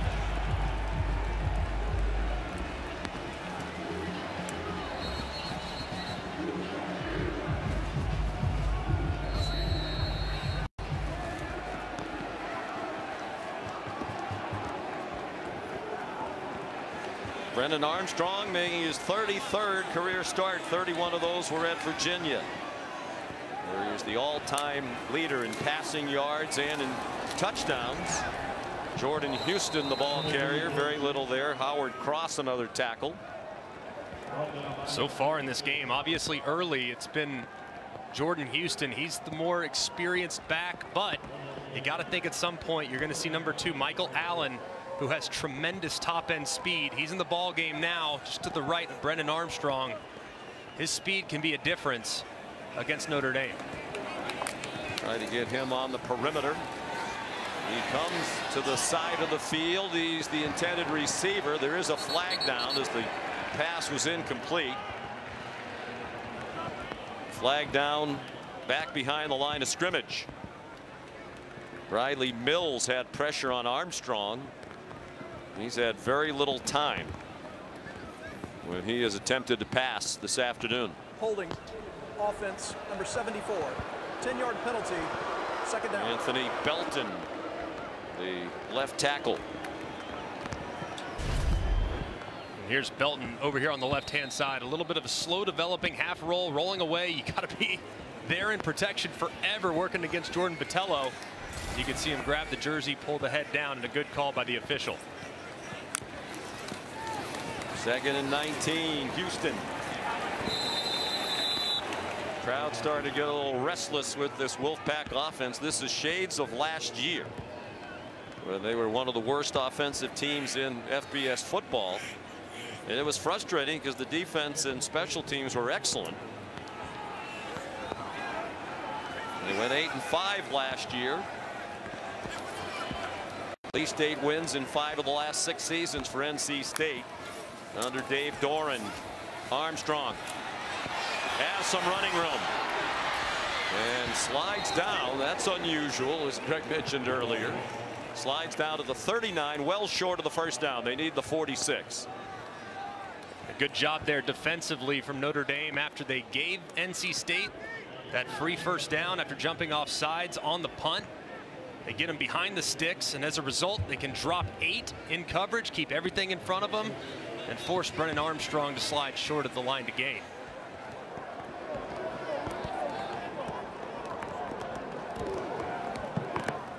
Noonkester. Short wobbly kick. It takes a good bounce for the Wolfpack and rolls down to the 17 yard line. Spencer Schrader a field goal and then on the first play after an hour and 45 minute weather delay Estime goes 80 for a 10 0 Notre Dame lead.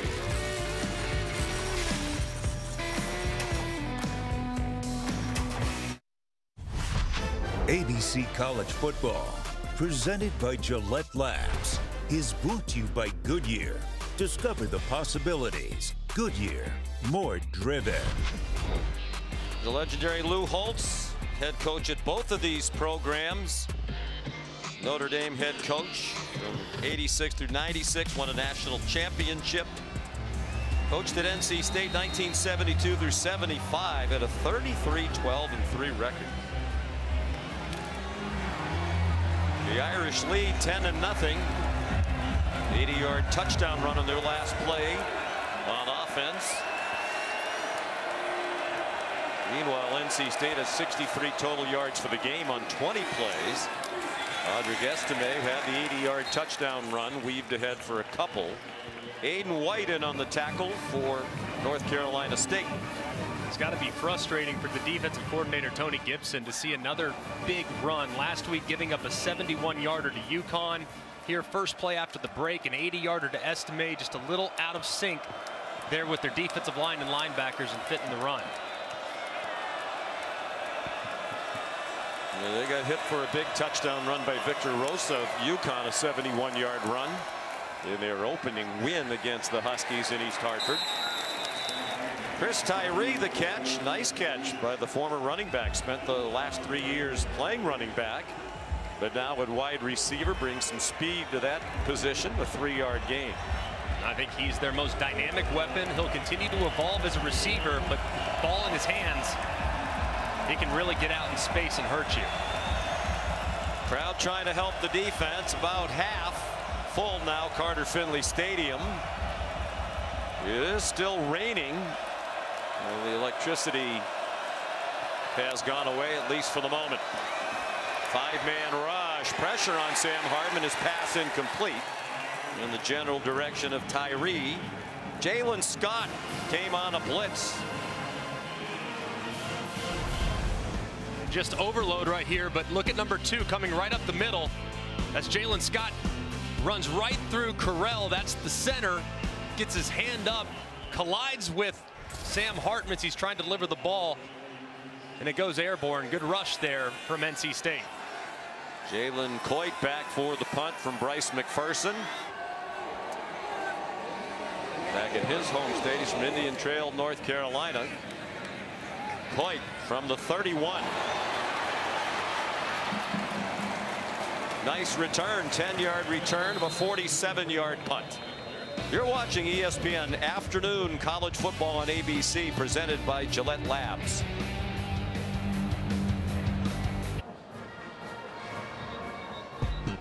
Well, the lineup we have for you this weekend and Monday on ESPN. Today at 4 Eastern Time, the U.S. Open Women's Final. Gauff and Sabalenka. Coco trying to win her first major immediately after that. Tonight, number 11, Texas, number 3, Alabama. Tomorrow at 4, the men's final. Djokovic and Medvedev. And then Monday at 8, the season premiere of Monday Night Football, the Buffalo Bills and the New York Jets. Here it's Notre Dame and NC State. 10 nothing Irish from their own 40. Brennan Armstrong on the Wolfpack firing one deep single coverage jump ball and it is intercepted by Benjamin Morrison the outstanding sophomore cornerback has it at the 16 yard line. What a play by Benjamin Morrison. Look at his eyes the entire time tracking the football. Never even looks at the wide receiver. He feels exactly where the wide receiver's at. He's able to track it, high point it, reel it in. What an incredible play by the sophomore star. His first interception of this season. He had six as a freshman last year which were the most by any Notre Dame player since Manti Te'o had seven back in 2012 when they were the national runners-up. The son of an NFL player's dad, Daryl Morrison, who's a huge influence on him, in football and the rest of his life played for the Redskins. Straight ahead for almost nothing. Jadarian Price. He ran into Caden Fordham figures to see a lot of time today. They like his ability against the run. He's usually a backup. Very physical linebacker. This is a really athletic group at the second level. But they're going to try to get Fordham in there as often as they can, knowing just how committed to the run game Notre Dame is.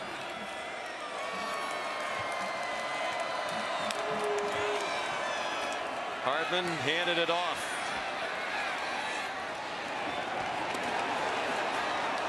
Jeremiyah Love battling for everything he can get. Wound up with a six yard gain. We talked to Coach Freeman yesterday. He said Love is special. True freshman from St. Louis. I really like his game. Just looking at him physically, he reminds me physically in stature to Darren McFadden. A little bit thinner in the lower half, but a long strider, and you get him out in the open field, he can really break it open. He has a very bright future in South Bend. Can really run, was a 100-meter champ in Missouri. He's also the Gatorade High School Football Player of the Year in the state of Missouri. Uh, the Christian brothers. Third down and four for the Irish. Hartman on the run down the sideline and a little bit too far in front of Rico Flores Jr.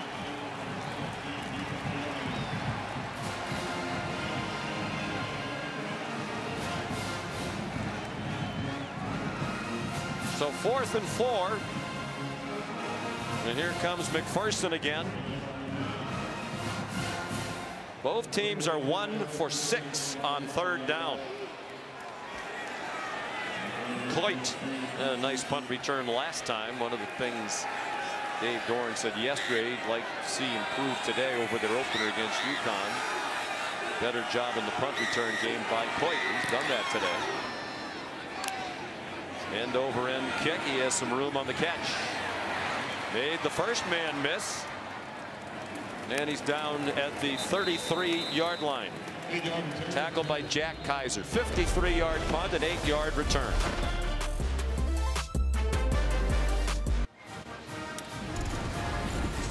Here's a look at today's college football rankings brought to you by Chick-fil-A, the top 10.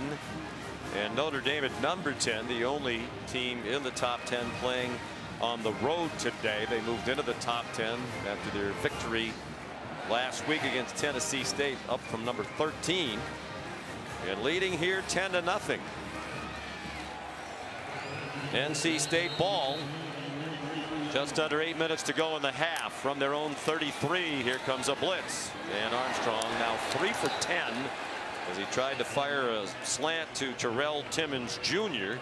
and it did not connect. And so far the coverage from Notre Dame has been terrific as you take a look at the new offensive coordinator Robert Anae, coming down from Syracuse a guy that made magic with Brennan Armstrong two years ago at Virginia having a difficult time creating favorable matchups against a quality secondary.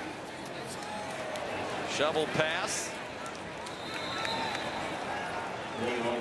Trent Pennix for a six yard gain. Graduate student and a tight end. Five yard gain. Two years ago, Armstrong with Anae as his coordinator had one of the best seasons in the country among all college quarterbacks. But then Bronco Mendenhall, the Virginia head coach, stepped away, and now went to Syracuse.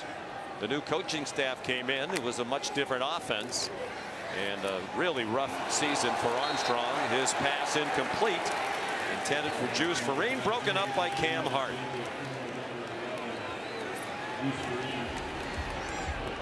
And Anae's offense now one out of seven on third down. And pressure's coming off the right, but what's beautiful is it's completely designed perfectly by Al Golden, the defensive coordinator. They know that that outlet throw has to come out of the hands quick because they're going to overload the protection to the right-hand side. They have a corner waiting right there, and Cam Hart blows it up for another third down stop. Defense has been excellent for Notre Dame. They still haven't allowed a touchdown. Another flag just as they were about to punt. And this one's going against NC State. Notre Dame offside. Offense number 10. Five yard penalty. Fourth down. On the last possession on a punt, Jack Kaiser. And it gave the Wolfpack a first down. This one is going against NC State. Just a field goal each in the first two games of the year for Navy and Tennessee State. Caden Noonkester punts again. He might be leg weary already, even with the weather delay. And it's down near the 20 yard line. Time for the Aflac trivia question. Want to know how many current starting NFL quarterbacks were in college at the same time as Sam Hartman, who's still in college. there's got to be so many because I think about the league. There's got to be 10, 12 guys that are still on their rookie deal and starting spots. I mean, all over the place. I can't even imagine what the number is. Is it half the league, perhaps? He just turned 24 in July. Started at Wake Forest in 2018. Transferred to Notre Dame this past January. Estime up the middle for about seven. And the answer to the Aflac trivia question is, you want to guess? Oh, guess 17. now. 17. I would have thought 16 was an aggressive answer. Jalen Hurts, Trevor Lawrence, Joe Burrow, Tua Tagovailoa. Just a few. His first year in college for Sam Hartman, that timing is all off. On the snap. Marcus Freeman said one of the keys today be good pre-snap. Offense number 78. That hasn't happened. Penalty. Second down. Pat Coogan, the left guard. 2018 was Hartman's first year.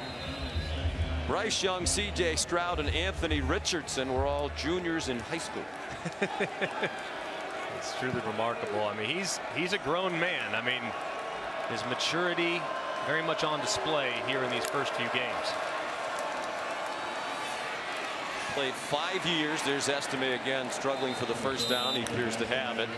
Played five years at Wake Forest. Was prolific. That's what he looked like. Look how much he's just changed since he arrived. Gained a lot of weight too. He weighed uh, well under 200 pounds. He's every bit of 212 now. But he told us at the end of last season they on the were field as the runner was short of the line to gain. It's third down. Doesn't look like that live, but they'll try to convert on third down. He said he uh, thought that it was going to be his last game at Wake Forest and his last game in college football, their bowl game. His brother Joe looks a lot like him. His brother Joe was on the campus of the University of Florida where he's now going to law school. Somebody saw his brother, thought it was Sam.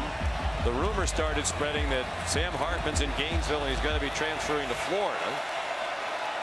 He runs up. It's Mitchell Evans who takes the snap. He's done that a lot over the years, and that one looks to be the first down for sure. So he said, Sam told us yesterday, I hadn't really thought about transferring, but that started a rumor. My advisor even called me and said, hey, what's going on? So he started to think about it. He said, were not for NIL, he probably would have gone on to pro football, but because there was money, if he transferred, uh, he looked around and obviously a perfect fit really for him and for Notre Dame. Yeah, beautiful spot. And it's obviously a win-win situation for obviously the Irish and for him. But he was already organizing his trainer. He's already organizing his rental car when he was going to be training out in California. But decides to stay in college another year, and the Irish sure are happy to have him. Play fake given time that time then ran out of it. There's a flag thrown where you expect a holding call. Sam got ahead for a couple. Jalen Scott made the tackle. Holding. Offense number 76. 10-yard penalty. First down. Joe Alt making his 24th straight start, the son of the former All-Pro John Alt. And considered by Mel Kiper a top 10 pick in next year's draft. Number one ranked tackle and number seven overall. An excellent player and very athletic and has shown already here in the first few games. I mean, he is continuing to progress as a run blocker, just a well-rounded talent. Another nice pocket for Hartman. His throw on target. Tobias Merriweather tripped up from behind inside the 35. Payton Wilson ran him down. The big linebacker at 6'4 who ran a sub 4 540 in the preseason. Man, they really need Tobias Merriweather to get going. It looked like for a moment Boykin was going to jump it, but there came Merriweather right across the middle, and Hartman does such a great job working the middle of the field. So much of college offense is outside the numbers. Hartman very comfortable working the middle. He hits Merriweather in stride, and they break it open now into NC State territory. Expect a shot play here, possibly. Dane Wilson came off the field after that tackle. It was a 45-yard gain, 30 of it after the catch. Bron Payne taken down by Devon Betty. Wilson might just need a breather. We talked about the eight or nine surgeries, knee and ankle problems. And at 6'4", 238, they timed it 4'4'9 in the 40 in the preseason. Tremendous athlete. It's not often you see a middle linebacker running down a wide receiver in the open field. Second down and nine. Down to 3.10 to go in the half. Hartman dumps it off, and it's incomplete. Trying to get it to Holden Staes.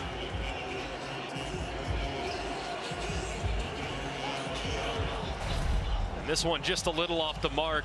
It's a good job on the run pass option read by Sam Hartman, but you see he just kind of flicked it like he was throwing a dart, puts his hands on his helmet, says, oh my gosh, I can't believe I missed it. Just a little off the mark there for the quarterback. They are in field goal range. Spencer Schrader's already made a 54-yarder today in the first quarter.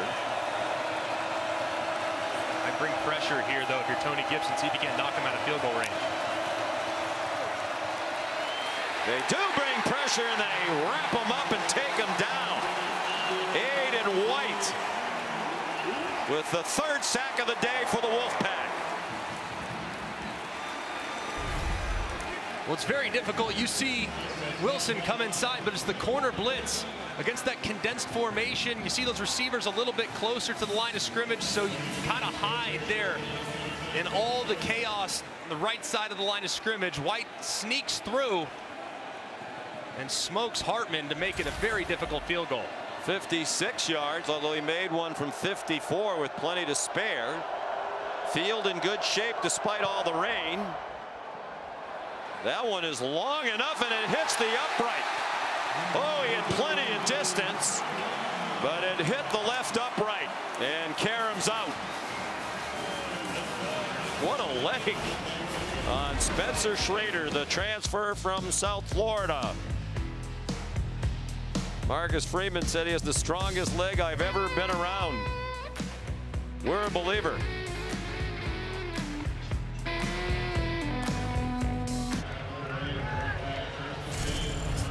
Back at Carter Finley Stadium, Raleigh, North Carolina. Notre Dame leading NC State 10 to nothing as we approach the half. Wolfpack ball from their own 38. They have 68 yards of offense. Armstrong forced back another drop. Bradley Rozner couldn't hang on. Brennan Armstrong's family here today. Dad Brent on the left, his brother, his mom. And on the right, his girlfriend, Alexa Spaanstra. She's a professional athlete for the uh, Kansas City Current, a professional soccer team. She played at Virginia. That's where she and Brennan met.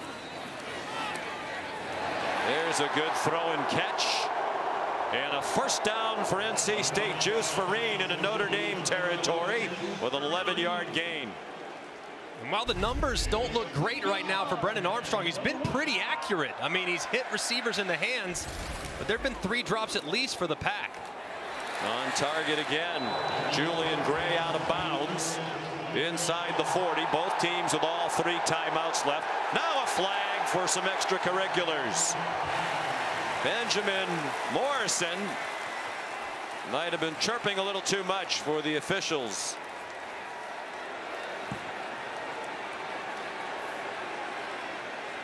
Adam Savoie, the referee. After the play, on sportsmanlike conduct, defense number 20. His first of the game.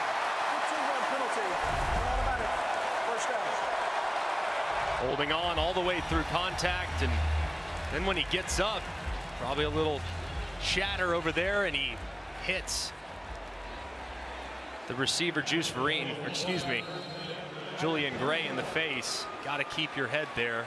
One of the best players in the country at his position. Has an interception already today. Morrison down the middle. His man was breaking open. It was KC Concepcion, but they did not connect.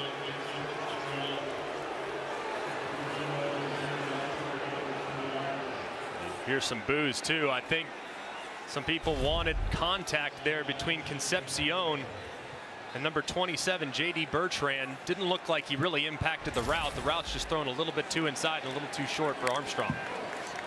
Four-man rush. Armstrong flag thrown where you'd expect a holding call.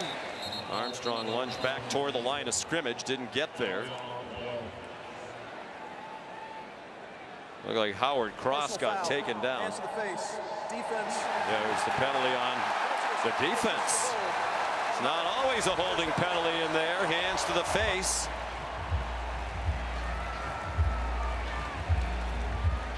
There were a couple things here. If you look at two defenders, you look on the right side, number one, he's over there, and then 99 right here. I think you really could have gotten a defensive hold as you see Jean-Baptiste throw the right tackle, Timothy McKay, and then Riley Mills hands to the face there on the interior. A good call by the official, and a big break there for the NC State Wolfpack. First down. They're down to the 12-yard line with plenty of time. Here comes Liufau on the blitz, and the receiver got knocked down. There's a flag at the two-yard line. holding. Defense, number 13. Penalty is half the distance to the goal. An automatic first down. Thomas Harper, the transfer from Oklahoma State, where he played 42 games. Yeah, and a good call there by the official as you see Juice Vereen trying to work inside and then get back to the outside on the corner route where Armstrong ended up throwing it. And Harper just stayed engaged way too long. and It was an easy call for the official. Seven Irish penalties already. First and goal, 134 to go. They're at the six-yard line. Short throw and a nice tackle immediately by Harper on Jordan Houston. And now Notre Dame calls a timeout. Marcus Freeman, with this much time left, says, Notre let's Dame, try to get another first. possession. Please reset the game clock to 128. So all three timeouts left seconds. for NC State, two left for Notre Dame. I like the timeout there by Marcus Freeman. He has two more to use if he wants to. His offense uh, started to find rhythm would not be the word for either offense so far here, Greg, but uh, they've both been getting a little bit better after the rain delay. Yeah, I think that totally changes who you are as a head coach when you have Sam Hartman at quarterback. You're probably not taking that timeout unless you really trust the guy that's pulling the trigger for you offensively so they can be more aggressive. And I think, too, they want to probably settle their defense down. A couple of penalties the last few snaps. Clearly, Marcus Freeman talking to the officials, not thrilled with what he's seen the last couple plays. Not so thrilled with the officials. I think he's saying it wasn't really hands to the face. This is a good timeout. If obviously you want your offense to maybe try to steal some points, but also at the same time, I think just to calm your guys down in the heat of the moment. Second year as head coach at Notre Dame for Freeman after one as the defensive coordinator promoted when Brian Kelly left to go to LSU. Nine and four last year. The wins over four ranked teams, including winning their bowl game, the Gator Bowl against South Carolina. Trouble on the handoff, and Armstrong got it back. He did not connect with Michael Allen. Don't know if he was trying to give it to Allen or was trying to yank it back. Rolling on the field is a fumble recovered by the offense. Timeout. Xavier Watts was there, couldn't recover it for Notre Dame, and Marcus Freeman uses another timeout. The Armstrong family relieved on the recovery. Here's Kevin. Sean, State Farm halftime report. Remember us? We're back here. We're coming back again in studio. Dan Orlovsky, Booger McFarland, Kevin Negandhi here. Colorado continues the roll, Dan. Sets up a huge game next week against Colorado State. Shedeur Sanders, 375 plus yards today. Another tremendous afternoon. He's been outstanding. Meanwhile, we got a good one in Waco. Number 12, Utah in trouble. Yeah, their quarterback struggling without Cam Rising. The physicality in the second half, they battled back, tied up 13 all. We'll also preview Texas versus Alabama, Sean. Greg already a little nervous heading into that matchup on E ESPN uh-huh. tonight.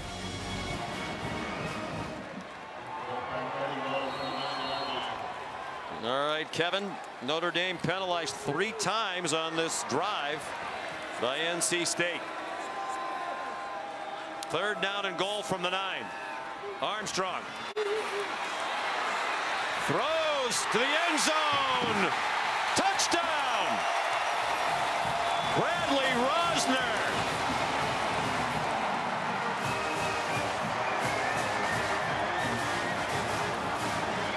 The transfer from Rice, who just wound up here in Raleigh a couple of weeks ago in August. And it's the first touchdown pass of his NC State career for Brennan Armstrong.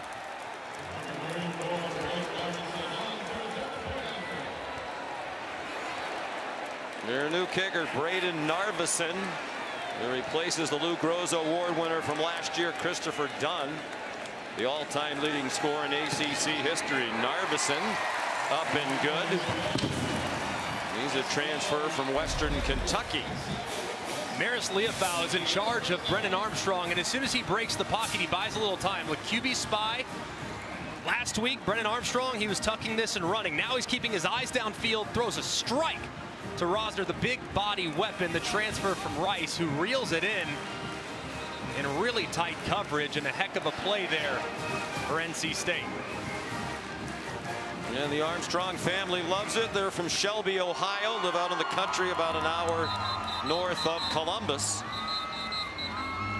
Rozner the catch. He's 25 years old. He played three years of football in junior college at Cisco College, followed by four seasons at Rice. And he has the juice squad all juiced up. After his first touchdown for the NC State Wolfpack.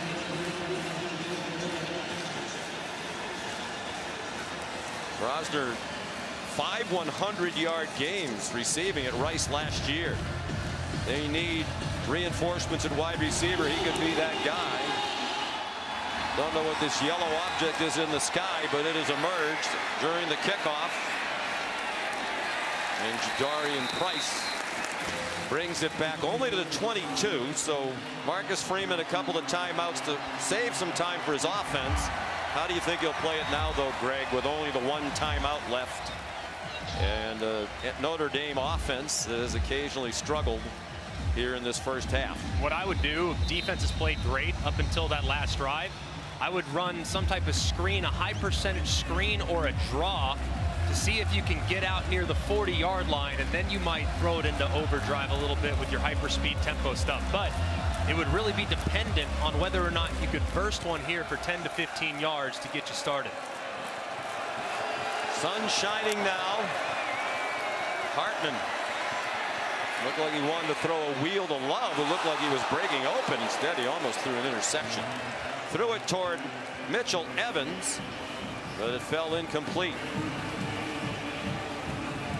Robert Kennedy had the coverage. First year player at North Carolina State as a transfer from Old Dominion. That time, Tony Gibson has been pretty aggressive all afternoon. Understandably, though, given the situation and how far they have to go, dropping eight and trying to move those defensive linemen up front. We kind of anticipate much of the same right here. But keep an eye on Hartman with his legs. They spread the field with receivers. Hartman had some time against the three-man rush. Now has Tyree wide open. Tyree down the sideline. A couple of defenders with an angle. And he's blasted at the 13. Robert Kennedy and Payton Wilson ran him down. Tyree just managed to get open behind the defense, and he goes for 65 yards.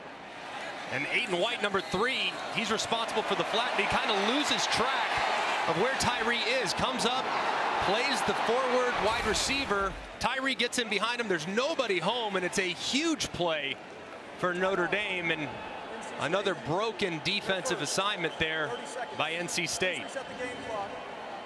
Aydan White, one of the best in the country. First team All ACC a year ago. You'll see him at the bottom of the screen. He walls Tyree out of bounds, kind of loses track of him at that point, collapses on the shallow cross, and there's nobody over the top to account for Tyree in the scramble drill. A great job by Sam Hartman keeping his eyes downfield, staying poised, and Tyree reestablishing himself in bounds after he went out, catching the football, and then turning on the Jets up the field for a big play. Notre Dame with 250 yards of offense, but a lot of that's been on two plays. The 80-yard touchdown run by Estime right out of the weather delay. And now that 65-yard pass play. That's 145 of the 250. Been stacked up for a lot of the day by this Tony Gibson defense, which comes in with 16 straight games of holding their opponents to 30 points or less. That is the longest such streak in FBS football.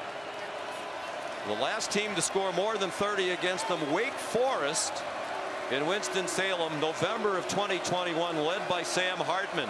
They scored 45 in a three-point win. Hartman to the end zone, and it is caught for a touchdown.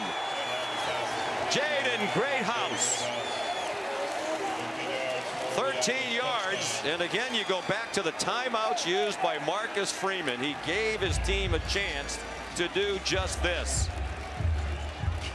33 straight games with a passing touchdown for Hartman, the longest active streak in FBS football. And he now leads all active FBS quarterbacks in career touchdown passes with 117. And that has quieted the crowd, which was raucous after the Wolfpack score. The extra point good by Schrader. Just a beautiful design. Hartman's eyes are on one defender. He knows exactly where he's going to go. And as soon as he works that defender with that post on the inside, he knows he's going to have Jaden Greathouse right behind him. Look at the timing. Ball's out immediately. It's a very tight window there in the end zone.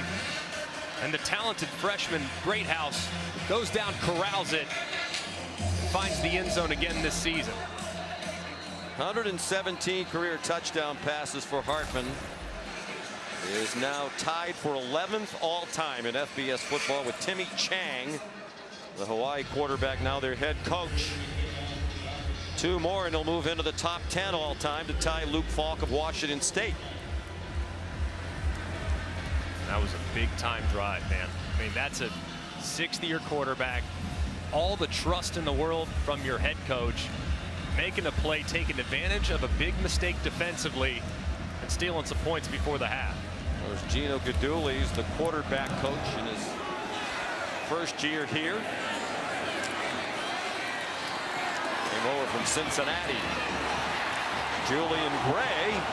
The ball's on the ground. And it looks like the Pack got it back. They have 34 seconds. They'll start around the 27 yard line after a 27 yard return. Decent return there for a minute, but you see the collision. Gray with that left arm getting away from his body just a little bit. Fortunate there. He had one of his own around him to reel that thing in. Colby Baldwin recovered it. So this is not a down the field offense. At least not through the first two games of the season. We'll see how Robert Anae and Armstrong, Dave Doeren play it conservatively. Kendrick Raphael takes the handoff, the true freshman with his first career touch. The crowd boos. Three yard gain.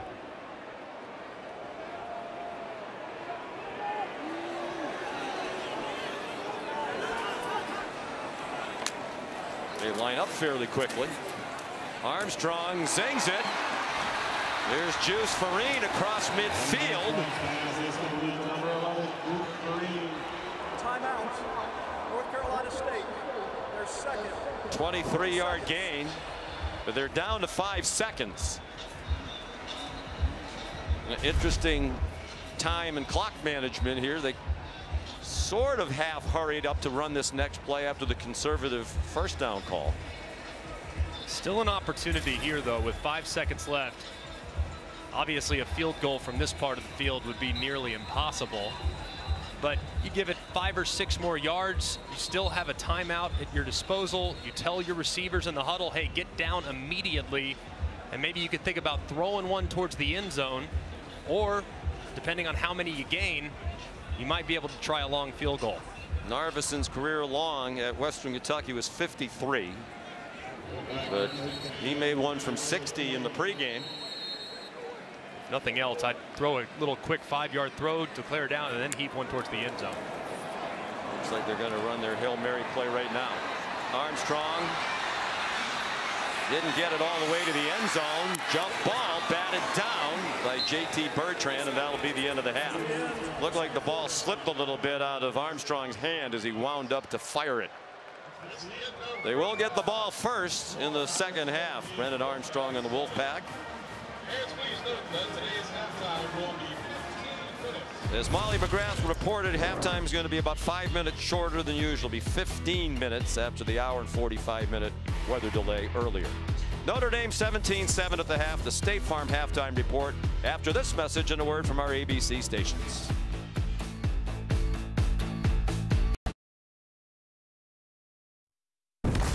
Welcome to the State Farm halftime report. Hour and 40 minute delay dealing with the Lightning, but uh, the Wolfpack do find the end zone. Brennan Armstrong trying to do everything he can to help this offense. The defense having some trouble slowing down Notre Dame's. Oh, right now they trail by 10 at the break. This halftime report is presented by State Farm.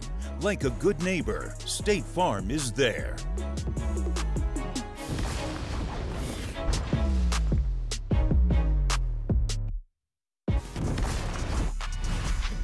This halftime report is presented by State Farm. Like a good neighbor, State Farm is there.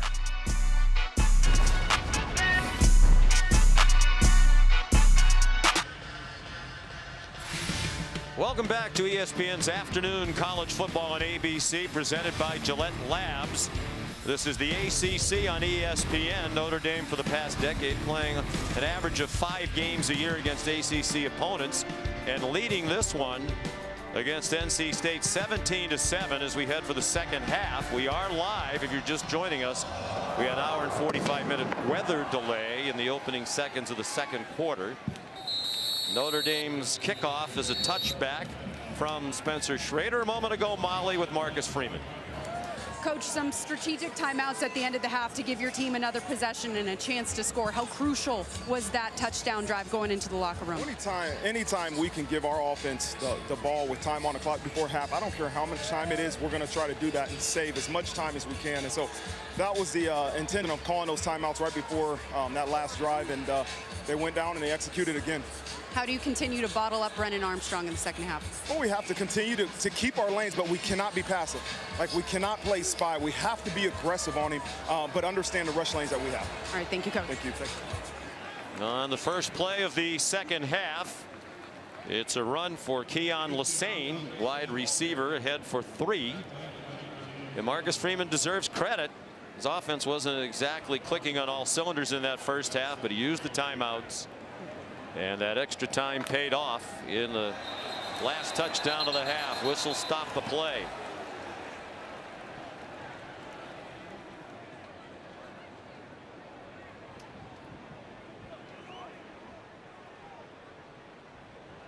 Offside. Defense number 56. Five-yard penalty. Eighth penalty already against Notre Dame. Sean McDonough, Greg McElroy, three hours and 25 minutes to play that first half. We're going to be here for a while, and obviously, if NC State is going to come back and win the game, they need to figure out the offense. Yeah, they had a nice drive there at the end of the half. Kind of seized momentum before they gave up another big play defensively, which turned into points for the Irish. But they found something with their scramble drill. Now the passing game has to continue to stay alive. The pressure right on his face from Javontae Jean-Baptiste. Armstrong threw it into the ground. Their one touchdown drive was aided by three Notre Dame defensive penalties.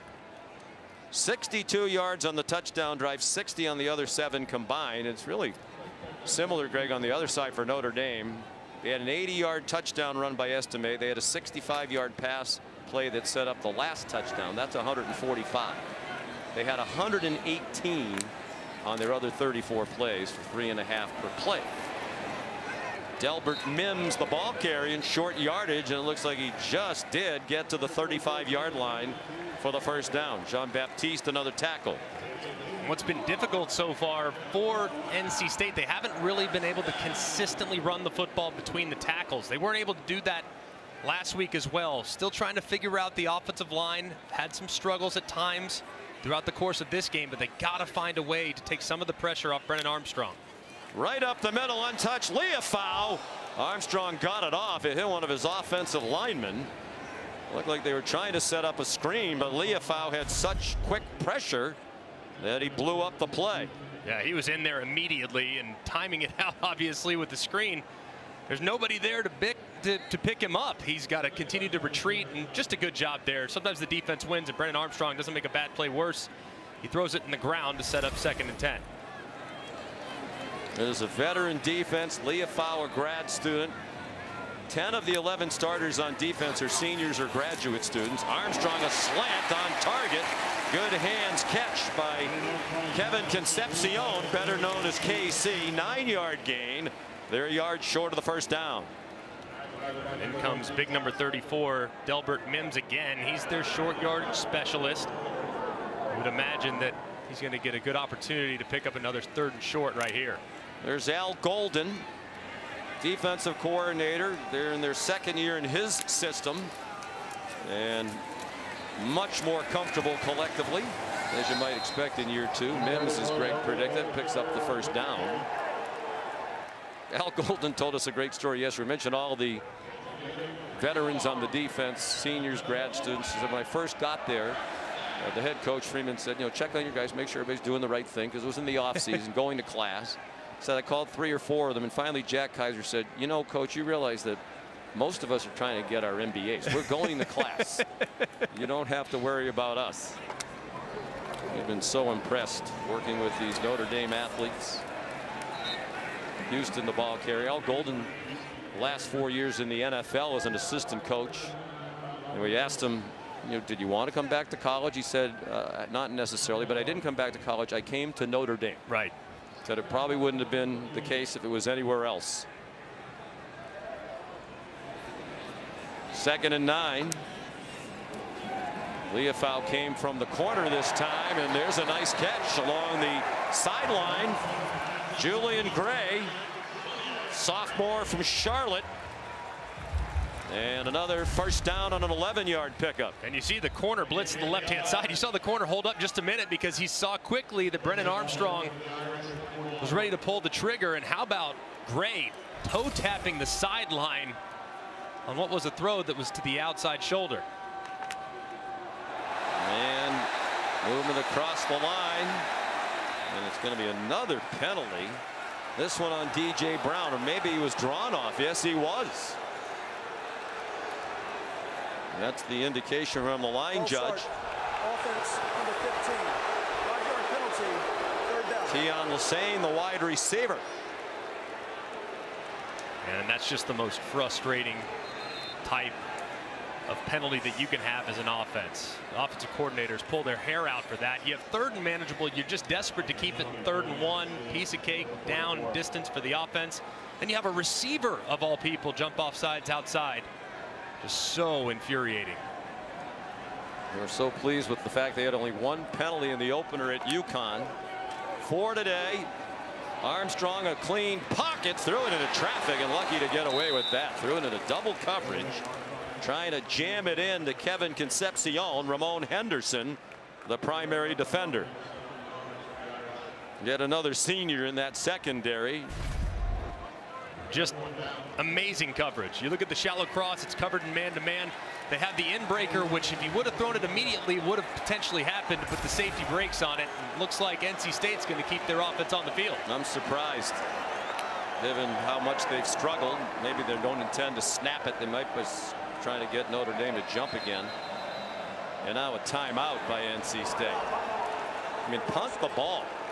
You haven't done anything. Think your defense is terrific. You just cost yourself a timeout with all that.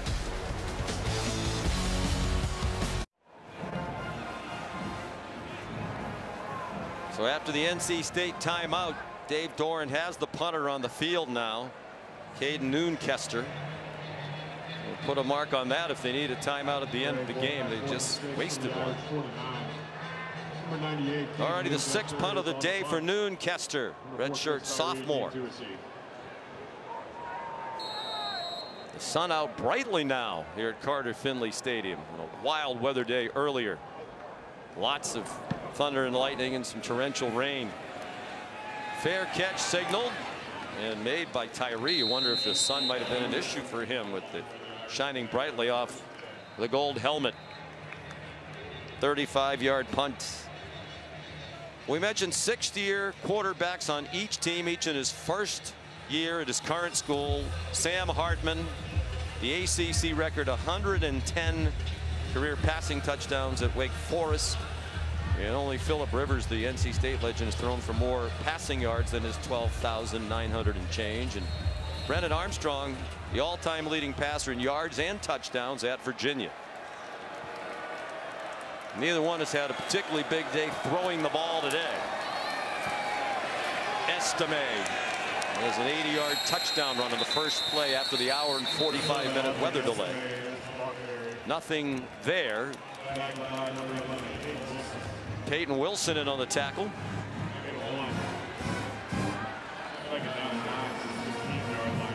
Estime up to 98 yards. He had 116 last week against Tennessee State. Averaged 105 and a half through the first two games. Jeremiyah Love in the game now. And it's Jadarian Price Out across the 15, tripped up at the 19. Shyheim Battle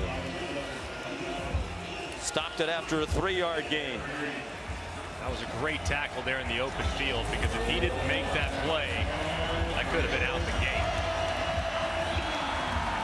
Well, it seems as the weather gets better, more and more people have come back into the stadium. they told him if you keep your ticket, we'll let you back in. And play resumed. It was less than half full, but it's well more than that now. Hartman on third down has his man and a diving catch made by Tobias Merriweather. There is a flag down along the near numbers. And the preliminary indication is offensive pass interference.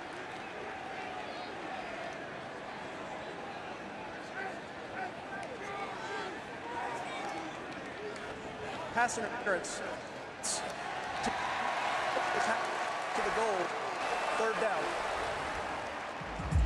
Now offenses would call this a rub, but defenses would call this a pick. You see the freshman Jaden Greathouse going out to the outside to try to create a little extra room.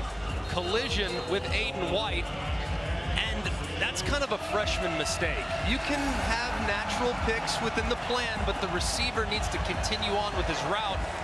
We always used to say, Sean, be an actor, not a tractor. Right there, very much a tractor as he collided with the defender. Well, he can stand in front without bumping him. It didn't look like much, but Matt Austin, our referee, nodding his head. Estime on a screen. That took down a first down. And now they're going to have to punt after their ninth penalty for 68 yards. Another tackle by Payton Wilson.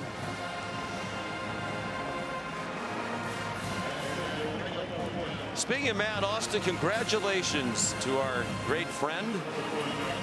During the weather delay, his daughter-in-law, hello Matt, I know how happy and proud you are. Daughter-in-law Haley, wife of his son Jake, gave birth to James Matthew Austin, Matt and Julie's second grandchild. So congratulations to all. God bless. I'd say one thing, James Matthew is very lucky to have Matt as his grandfather. Jalen Coit the fair catch. Timeout. Congrats, Matt. ABC College Football presented by Gillette Labs is brought to you by Ram Trucks, America's best light-duty pickup for new vehicle quality. The last time our ESPN and ABC cameras were here at Carter Finley Stadium in February, the Carolina Hurricanes hosted the NHL Stadium Series against the Washington Capitals. What a great scene it was. There's their arena, the Canes arena, just across the parking lot. Carolina won four to one, and just electric atmosphere. They have great fans. The Caniacs, according to the NHL, the most merchandise ever sold for a Stadium Series game. Steve Mayer and the NHL people know how to do it. The big events. And the Canes did a great job as well. On first down, Armstrong completed it. And the ball came loose from Juice Vereen for a minute. He was able to get it back. Ramon Henderson there for the Irish, an 11-yard gain for North Carolina State. Foul. Roughing the passer. Defense, number 47. My goodness. penalty. 10 penalties on Notre Dame. Four on the defense, three of them on the one touchdown drive, and that was Jason Onye with the high hit. And that is a point of emphasis. If you collide with the quarterback in the passing posture, on the helmet, on the face mask, it's going to get called. But man, as a quarterback, even as a quarterback, it's hard for me to understand that ruling. Armstrong trying to set up a screen, incomplete to Terrell Timmons. Onye's trying to make a play on the ball. He's trying to tip the pass, and I know you collide, but my goodness, I mean, it's not egregious. Just have a hard time justifying a call like that, even though You're technically, by the letter of the law, it's correct. It's just one that I struggle with So when it if- comes to that. So if you were playing today and you were a quarterback, you wouldn't want that to be called a penalty? you definitely want it, but I think it Armstrong might even agree. Armstrong has a man open high throw. He's had some drop, but that wasn't a very good throw intended for Vereen with Xavier Watson coverage. He taps his chest there too. Brennan Armstrong a second ago say, hey, that's my bad. Tapped it. That's what a leader does. That's what a veteran does. Hey, man, good route. You were open. I got to hit you. Unfortunately, my sight's just a little bit high right there. A big third and 10.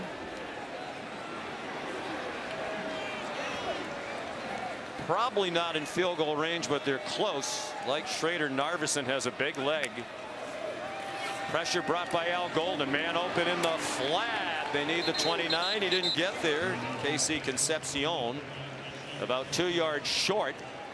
It'll be fourth and two. Armstrong wants to go for it. Field goal makes it a one goal game. It would be a 48 yarder. The offense still on the field. And now here comes the kicker. And again, I agree with this decision. Greg, you know, it's a low scoring, close game. You're down two scores. Get the points, get back within a score. You got a quarter and a half to go. Yeah, in a game like this, points are so valuable, and your defense played pretty well with the exception of two plays. So I, I agree. Take the points when you get within field goal range. 49 yard try. He has plenty of leg for that. And it is right down the middle. Brayden Narveson from beautiful Scottsdale, Arizona, Desert Mountain High School. Grad transfer from Western Kentucky. Perfect snap. Mash laces, laces out Dan, and he drives it through the uprights. Excellent kick Dave Doeren looks on. Good decision, I believe, to take the three. From Narveson, He'll turn 24 later this month. Kick off your week one NFL Sunday at 10 a.m. with the Countdown Crew on ESPN and the app. Tennis legend, New York native John McEnroe sits down with Aaron Rodgers to talk about playing in New York. Who knew Aaron Rodgers was playing for the Jets? He'll be on. If you don't, you've been somewhere else. Yeah, certainly not watching ESPN. They'll be hosting the Buffalo Bills as the 54th season of Monday Night Football kicks off on Monday on ESPN. Deportes and plus 9 and 0 in his last nine Monday night games. Aaron Rodgers. Of course, this is first as a Jet after all those great years with the Green Bay Packers. Coverage begins at 6. Scott Van Pelt and the new Monday Night Countdown crew. Price is going to run it out of the end zone. and he made it exactly to the 25. Here's Kevin Negandhi. Sean, for our audience, this game, Texas A&M, Miami over on ESPN News right now, and it's the Aggie special teams. Jahdae Walker breaking through. Big break for a team on the road trying to create something early on, and that would set up an easy score for the Aggies. Conner Weigman going in. So Bobby Petrino, Jimbo Fisher feeling good right now. Again, this game on ESPN News. A&M up 7-0. Back to you. What do you think of Texas A&M this year? Step forward now with Bobby Petrino as the offensive coordinator. They have a lot of talent on the perimeter. That wide receiver corps is good as anybody in college football outside of Ohio State. That's always the caveat, right? 7.20 to go, third quarter. Sam Hartman on first down. Down the seam, on target, first down to the Wolfpack 48. Holden Staes the tight end with a 29-yard completion. Man, just a great throw here by Sam Hartman. You see the switch release by the two wide receivers as they crisscross and change spots. And a perfect throw to Holden Staes, who I think has a very bright future as a pass catching weapon as he continues to grow and mature. His third career catch, sophomore from Atlanta. Here's Estime. He has eight more. They're very quickly to the Wolfpack 40. Here's Molly. Well, on the sideline, defensive coordinator Tony Gibson called his entire defense together and addressed mistakes, saying we can't be running all over the place. Get lined up and play. Defensive end Davin Vann was emotional, and he said, it's been a long day. You guys look like you want to go home. If so, go home. I don't want you here. He told them the rest of this game and their focus is all mental. Well, a couple of big busts. Big plays given up by this Wolfpack defense. Over 100 yards again. Estime for the second time in three games this season. Hartman throws it out wide. Here stays again. He stays in bounds and goes to the end zone. Touchdown, Notre Dame.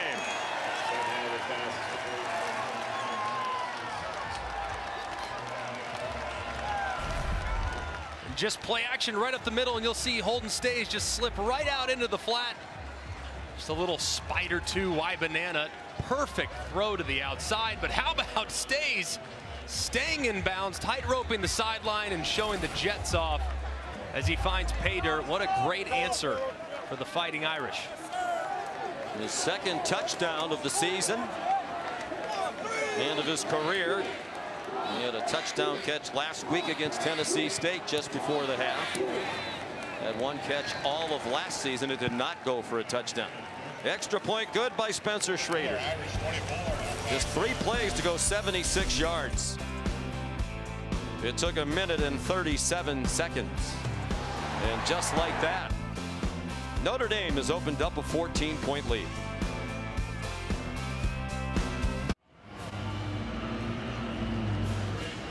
Holden Staes the 40 yard touchdown, the catch and run.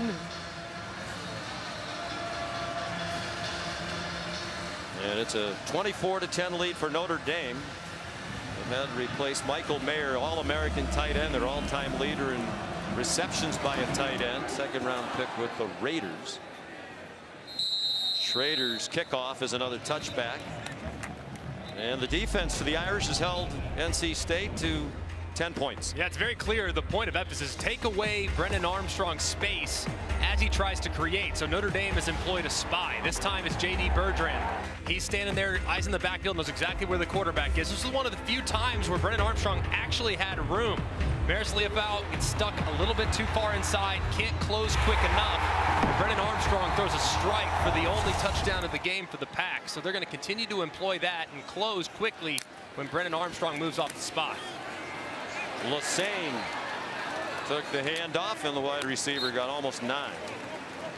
The touchdown by NC State, the only one given up by Notre Dame this season. And the defense will probably be kicking itself since they helped the Wolfpack on that drive with three defensive penalties. Last time Notre Dame opened a season without giving up a touchdown in their first two games was 1975 against Boston College and Purdue. Armstrong, good fake, has the corner. And scampers out of bounds with a first down at the NC State 41. There really hasn't been a whole lot of designed quarterback runs from Robert Anae. That's not really Brennan Armstrong's strength. He's really best as a runner when he's in a scramble situation where he doesn't like anything downfield and he takes off. Design runs, that might be something they need to utilize moving forward with how quickly Notre Dame's closing. Launches it up in a single coverage jump ball, and it is caught. Keyon Lesane with Cam Hart in coverage. And the Wolfpack to the Notre Dame 21. Just a terrific route. Pretty good coverage there, as you can see from Cam Hart. Both eyes on the ball, and Brennan Armstrong drops it in the bucket perfectly. That's uncoverable, and what a heck of a catch downfield. 38 yards, longest gain from scrimmage of this season.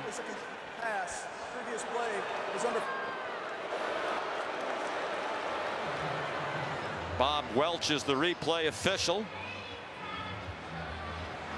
Saying a returning player. Just great effort.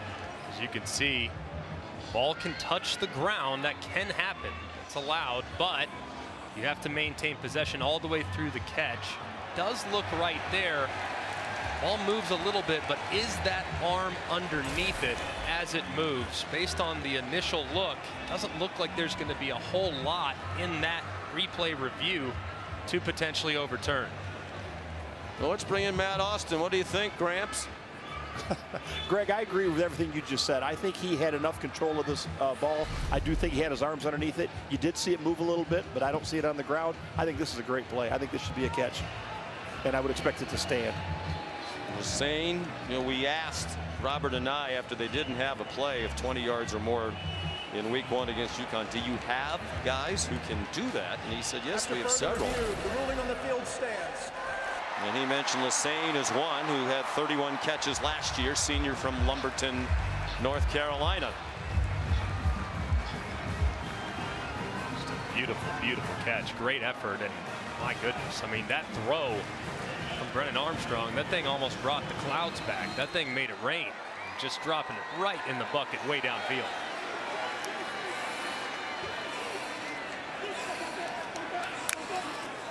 Pressure from Notre Dame. Armstrong over the head of Juice Vereen. Another big target at 6'4", 214 pounds. As you can see, Juice Vereen has been very reliable today. Would have been a tough catch for sure, but gets both hands on it. He just didn't quite time his jump perfectly, and just a near miss there for the pack. Second and 10, down by two touchdowns, might be four down territory here. Jordan Houston Slides ahead for three. Jordan Botelho made the tackle.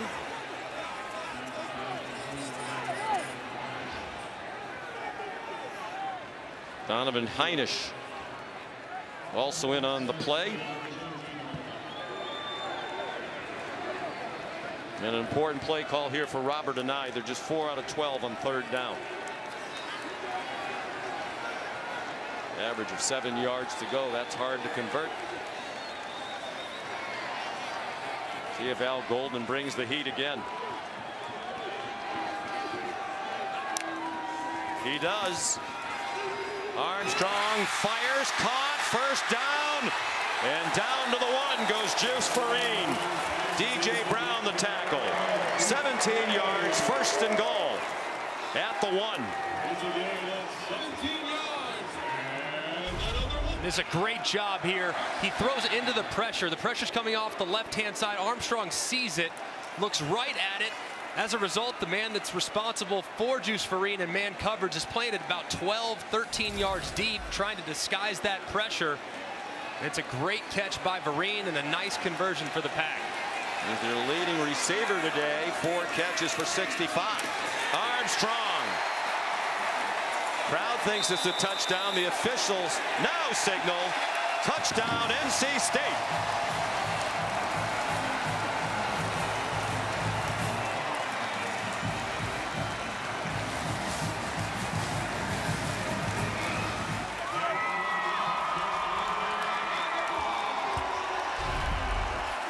Let's take a look at the progressive pylon. Just a little QB sweep. I mean, Notre Dame saw this two weeks ago with Navy. They don't have a quarterback that can power his way into the end zone like Checking Brennan Armstrong. If it was a touchdown. Did the ball break the plane before his knee was down and the play stands as called. Armstrong already three rushing touchdowns on the season. First touchdown allowed on the ground by Notre Dame this year. Brayden Narveson just did sneak that in. He's never missed a PAT in college. He's 163 out of 163. Kind of reminiscent of the opener against UConn, Greg. Armstrong having to do a lot of it himself. He is, but really in the last couple drives, it was a wide receiver group that had been plagued there in the first half with a bunch of drops, guys not being able to create real separation. But now they've settled in a little bit. They're making the contested catch. They're being able to get behind the defense. They're elevating on throws that are off target, and they're making their quarterback look a whole heck of a lot better here in the second half. So they've really picked it up in the passing game. Armstrong arrived in January. Likes Sam Hartman immediately made an impression on his teammates and was voted a captain. A lot of people thought it was just a foregone conclusion when Armstrong wanted to transfer that he come here because Robert Anae was here. They had so much success two years ago at UVA. But both Armstrong and I said that wasn't the case. Brennan I wanted to look around. He thought long and hard about Wisconsin, about Oklahoma State. And Robert Anae said, yeah, we had to re-recruit him. Brennan Armstrong joked to and I said, I'm glad I'm the one who's making you a little bit uncomfortable right now. It's been the other way around in the past. Kickoff is a touchback. Here's Kevin Negandhi. Sean, AT&T 5G keeping fans connected as we take a look at our multi-view, which is showcasing a bunch of great games events across all our networks. And a U.S. Open women's final featuring Sabalenka and Coco Gauff currently going on ESPN. Top 25 matchup over on ESPN2. Maybe the biggest game at Tulane in decades as they host Ole Miss. In that game right now, Tulane up 10 to 7. Texas A&M, that game scheduled to be on ABC. They're up 7 0 over Miami. Back to you.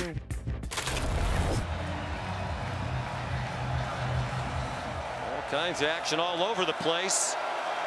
We're late in the third quarter here. Game interrupted for an hour and 45 by a weather delay. Jeremiyah Love on first down, a yard and a half for Notre Dame. Well, like Armstrong, Greg, Sam Hartman blended in very quickly. Said, you know, he didn't go in trying too hard, just wanted to be a teammate. Everybody we talked to yesterday said everybody was immediately impressed. Yeah, and just being around him yesterday, visiting with him, he's got this natural gravitational pull that he just is, he plays so confidently and so under control that you just can't help but follow him. Just very impressed with the way he approaches the game. Looking down the field, running out of time, lost the football, and NC State has it inside the 20.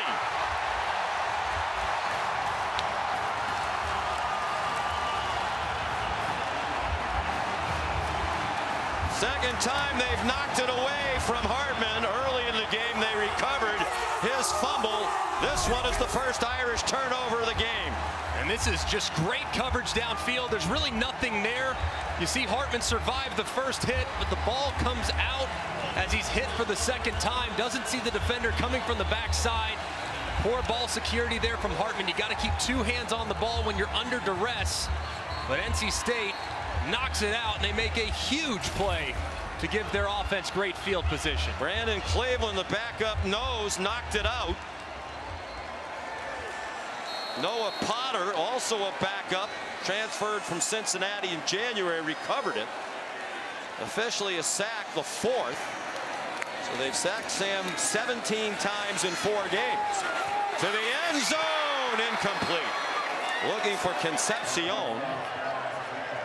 Not the biggest target if you're going to throw that pass. He's just 5'11", and that might be a little generous. Yeah, riding the wave of the momentum and trying to go for the jugular here. It's a pretty good throw as Concepcion tries to go up and time it. Would like it just maybe a touch deeper. Instead, he can't quite reel it in, and it's well covered again by Thomas Harper. I think he's had a nice game so far for Notre Dame.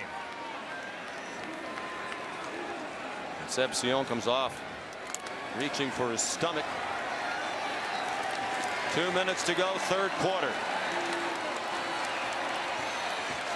NC State down 14 a moment ago will be penalized for a false start.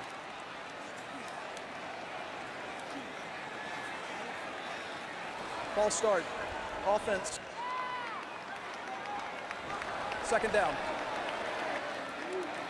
Apparently Adam Savoy's uh, microphone rusted a little bit during the weather problems.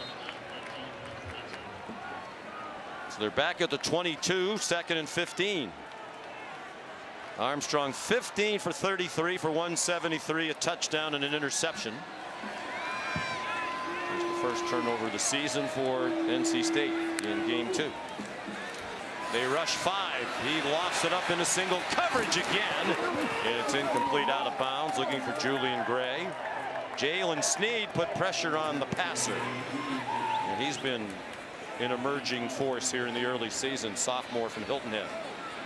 That's more pressure being called by Al Golden. Trying to dictate a little bit and force the ball out of Brennan Armstrong's hands really quickly. Now here in a third and long situation with a kicker that's clearly got a big leg. Probably want to play coverage here. Don't want to pressure him and allow a one-on-one -on -one over the top. They do rush just the three. Defending the line to gain. Armstrong dancing. In trouble. And a nifty run. Got nowhere near the first down marker. Eventually, it was Jean Baptiste and Kiser who took him to the ground. A six-yard gain. He covered a lot more ground than that. My goodness, he held it forever. You know you have a three-man rush, so you know you have time. You can be patient. Buys it. Nothing there to the left. Tries to get back to the right. Reverses course again and gets back to the left. But right here, a huge missed opportunity with a wide open wide receiver there in the corner of the end zone. But Armstrong just doesn't see it, doesn't have it in a position ready to throw. And as a result, he's dropped. 34-yard try now for Narveson, and he hooked it. Wide left, not close.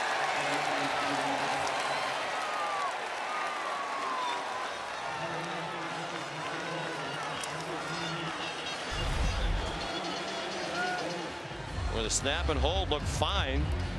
Veteran snapper Joe Shimko 51 straight games as a snapper for them. He's never had a bad snap.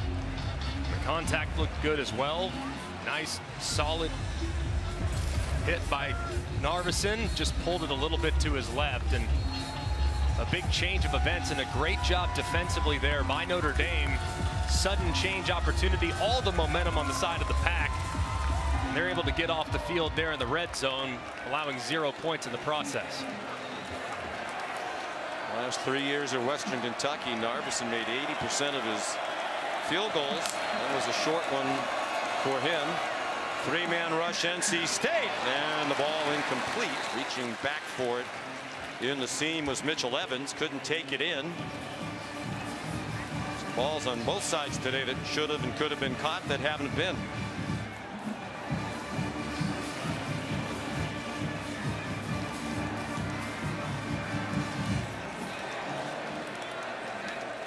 Think here, if, if I'm Gerad Parker, I want to get Chris Tyree back involved. Something quick, get it out of Hartman's hands, see what your guy can do with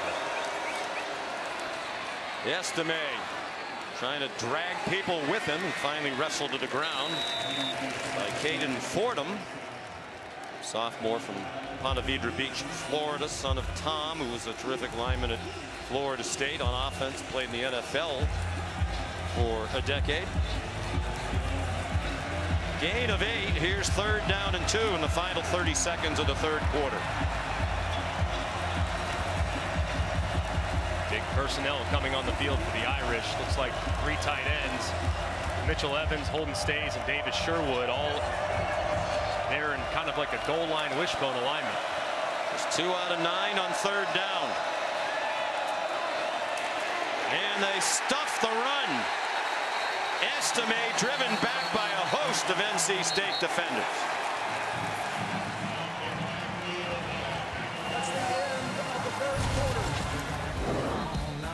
With Notre Dame leading 24 to 17. ESPN's presentation of college football on ABC will return after this message and a word from our ABC stations.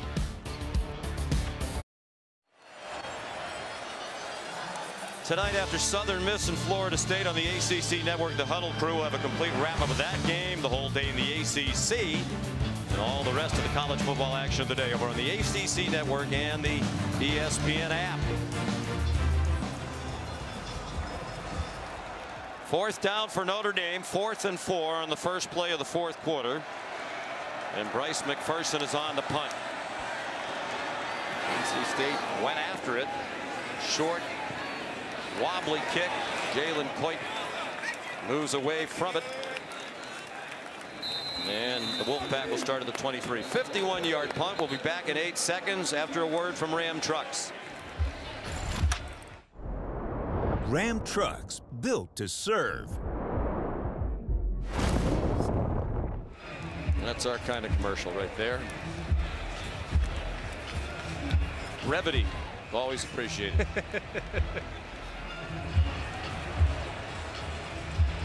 so NC State drove down to field goal range on the last possession. Narveson missed the 34 yarder. They start from the 23. Play fake by Brennan Armstrong and good coverage by Cam Hart. Made a quick move on Terrell Timmons. Hart's a grad student. Captain this year is voted by his teammates along with Bertrand, Alt, and Hartman. Been very impressed really all game long with Notre Dame's secondary. Coming into this game a little untested naturally. and against their last two opponents. But even the throws that have been completed have been contested, man. That secondary is really doing a good job. Jordan Houston with a flag thrown. Four yard pickup taken down by Joshua Burnham and Jack Kiser. Burnham, a young player, earning more and more Holding. playing time. Offense, number 65. 10-yard penalty. Second down. Jacarius Peak, a backup tackle in the game, redshirt Correction. freshman. Foul was on 56. It wasn't his fault. We take it back, Jacarius. Lyndon Cooper called for the hold. How about this? A little little showtime Magic Johnson right here. Watch the umpire to the left. Throws it behind his back. Mm, style points. I like that. little swag on the on the flag call. and Brandon Ellison. The pass incomplete. Xavier Watts came over the top. The crowd wanted a penalty. It's a couple of times like Concepcion in a cut lost his footing, it appeared. Yeah, and Armstrong had this early. I mean, Concepcion is wide open for a while. It just took him forever to get there, and as a result, Xavier Watts could close quickly. That ball gets out of Brennan Armstrong's hands really quick. You got Concepcion with a lot of space, one-on-one with the safety. He kind of went down because he had to reach back for it. Three for his last 11 for Armstrong against another blitz, and that one is intercepted off the hands of Concepcion and picked off by Ramon Henderson. Or by Xavier Watts. The senior from Omaha, his first career interception. And that time, Brennan Armstrong got it out really quick to the point where it looked like for a second he was going to squeeze it in there. It gets tipped up, and you see the reaction from Concepcion. And how about the concentration from Xavier Watts being able to go down, pick it up off his shoelaces, and make an incredible play as you see the look of despair on the eyes of both Concepcion, the freshman, and the veteran quarterback. Well, it should have been caught. They love Concepcion. Robert and I compare him to Wes Welker, who he uh, was on the coaching staff for at Texas Tech back in the day. Jeremiyah Love the ball carrier. That really took the wind out of the crowd here. Now Notre Dame already in field position to kick a field goal at the very least and make it a two-score game again. That's a huge defensive sequence here for the Wolfpack. They have to eliminate the bleeding, given the way their defense has, or their offense has struggled to put things together today. And you almost have to hold them to a field goal, and the touchdown clearly breaks this thing wide open. Darian Price, the running back. Sam Hartman faked it to him, dumped it off. Another good run after the catch by Holden Staes. There were no targets of the tight ends in the Navy game. That was a concern for some Notre Dame fans. Gerad Parker said to us yesterday, don't worry, these guys are capable of being involved in the passing game, and they have been today, particularly Staes. Yeah, he's excellent. And Mitchell Evans, bit of a work in progress as a pass catcher, but a tremendous athlete. And they all are really anxious about the return down the road of Eli Raridon, who's an excellent, long, six foot seven target with great athleticism. Still working his way back from injury. Here's Love. Taken down by Payton Wilson. We mentioned it earlier. 16 straight games without allowing more than 30 points this NC State defense. Longest active streak in FBS football, and that is in jeopardy now. Payton Wilson in the defense. We mentioned Wake Forest, the last to do it in 2021 up in Winston-Salem. 45-42 win over NC State behind Sam Hartman. Ron Payne near the 10-yard line. That was the only win for Sam Hartman in his three games against the Wolfpack while playing for the Demon Deacons. And right here, third and short. The last time you had a short yardage situation, NC State completely sold out against the run. I'd go back to the play that Holden Staes scored on earlier. Fake it, up inside, slip Holden Staes out to the flat. And maybe you can get a walk-in because of the sellout that Wolfpack likely to have against the run. Estime back in a running back. They fake it to him. They flip it up for Davis Sherwood. Touchdown, Notre Dame. The tight ends fully engaged today for the Irish. Davis Sherwood.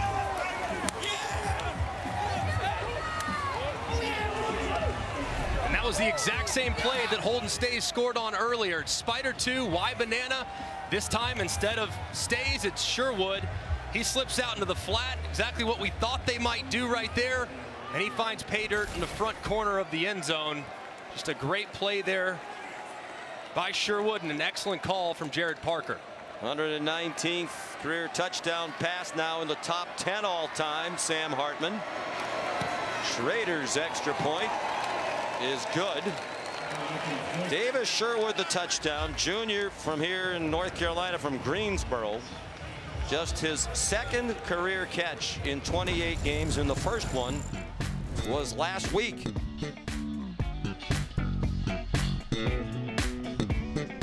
Thirty-one, 17 Notre Dame, 11 and a half to go.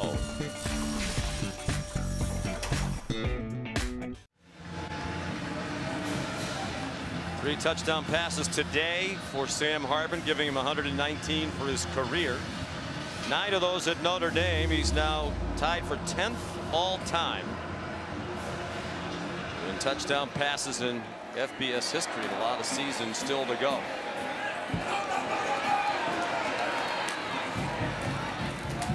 Julian Gray, the return man, spun down across the 25. Here's Kevin Negandhi. Sean, let's go to South Florida. Miami down to number 23, Texas A&M. Tyler Van Dyke, six of seven. His only incomplete is a drop here. This is a great shot by Restrepo to Restrepo. The release on the seam route, beautiful job, and then the timing by Van Dyke to rip it to him. 48 yards, and they do score in the red zone, something they didn't do last year against the Aggies. Yeah, love the play fake. Holds the linebacker, the defensive end is held. Easy to toss outside for the touchdown. And 7 A&M over on ESPN News, Sean.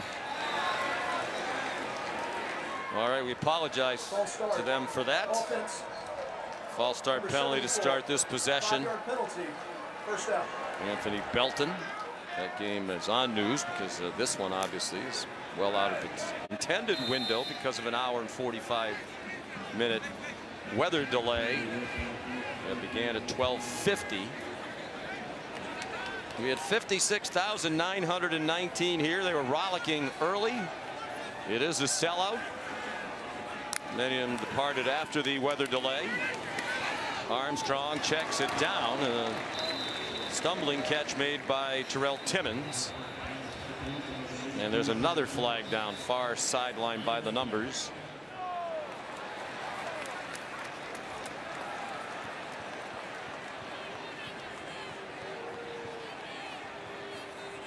That linesman Josiah Pass Ford. Offense number six. Penalty is half the distance to the goal. First down. Trent Pennix seems surprised to be flagged. Another sixth year player who already has a degree in criminology. Trying to get a rub on a little underneath mesh. And they called one earlier on Notre Dame, so clearly the officials making that a point of emphasis in this game. Back-to-back penalties, first and 25, over the middle, and intercepted again. DJ Brown picked it off.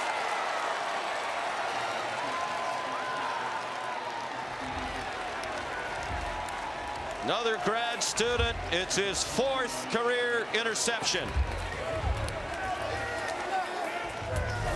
Just another excellent break on the ball from the Notre Dame secondary. Right here, DJ Brown dropping back, but keeping his eyes on Timmons, who's about to work across the middle of the field. He jumps in front, doesn't catch it initially, but stays with it, drags it in. This secondary, man, they have come to play today. He's the quarterback of that secondary, Brown. Not a great day for Brennan Armstrong. Three interceptions now. 15 out of 38. For 173 yards, he has thrown his first touchdown pass as an NC State player. Hartman throws it away. Looked like some confusion on the play action fake with Estime. Talked about how these quarterbacks won their teammates over early. Sam Hartman, as we mentioned earlier, said NIL was a reason he elected to stay in college. He has a deal with Under Armour, who's also the apparel provider for Notre Dame. Before they left for Dublin, Marcus Freeman let him talk to with the team after practice. He said he had arranged with Under Armour for them to get these slip-on shoes that they could wear on the long flight. Love that. And then another one of his NIL deals is uh, headphones. And he arranged for every player on the team at another practice to get a pair of headphones for the trip to Ireland. And one of the Notre Dame players said as he walked away, every day is Christmas with Sam Hartman.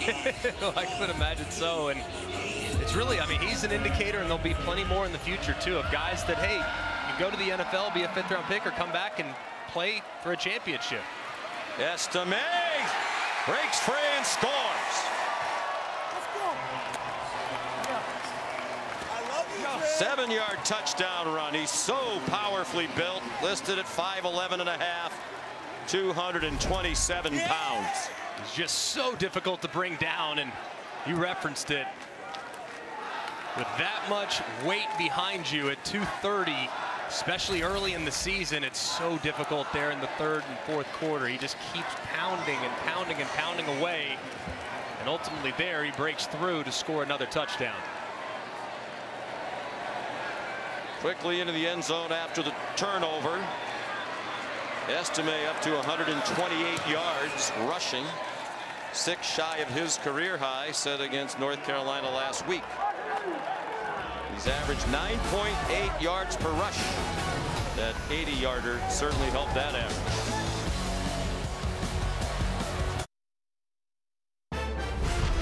ABC College Football is presented by Gillette Labs, the next generation of shaving. As usual, some great looks today from the progressive pylon camera.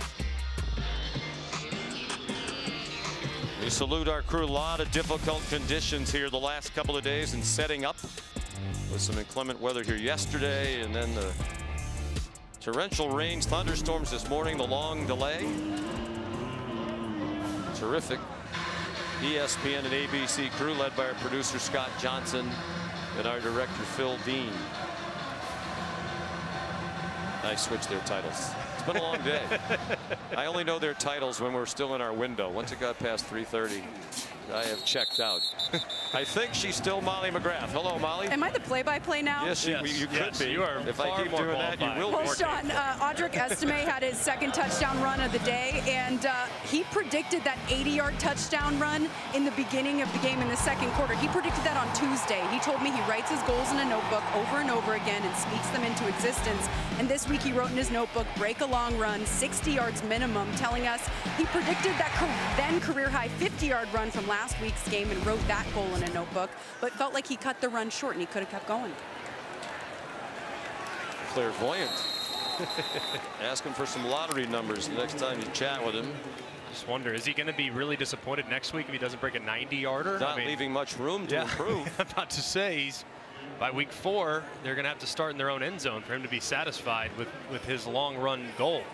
From New Jersey. Lost his mom, who was a single mom, birth at age 10 to sickle cell disease, raised by an aunt and uncle, did a terrific job with Audric and his brother. New Jersey High School Player of the Year. Short gain for Armstrong, originally committed to Michigan State, but then uh, changed his commitment to his dream school, Notre Dame. And uh, for a while, stuck behind some other good running backs. There was some speculation he might transfer, but he said he never thought about that. Loves Notre Dame. Very comfortable in the situation he's in. He's he looks more agile side to side too, as opposed to just going straight downhill. Man, he's really developing into an excellent back. Armstrong dumps it over the middle. Heading in the wrong direction for a moment. Lesane And now he has the first down and much more out to the 45 yard line where he was run down by Howard Cross the third. 15 yard gain. Obviously, this one can't quite say it's over just yet. It feels close to that, but a touchdown here does keep it a little interesting, and you got to obviously start being very mindful of the clock and operating with a tempo. Armstrong, far sideline, incomplete. Intended for Lesane. Good coverage by Jaden Mickey, a backup corner. They have depth, you know, second year in Al Golden's system. And not only they have a veteran corps of returning starters, but the, they're starting to develop some nice backups as well. And some really talented freshmen that maybe the, the world doesn't know about yet, but soon they will. Jaylen Sneed, I think, has a chance to be an excellent player. A couple really good, talented corners. Joshua Burnham, who's already making an impact. Armstrong dances across midfield. They'll give him the 50 yard line, five yard gain.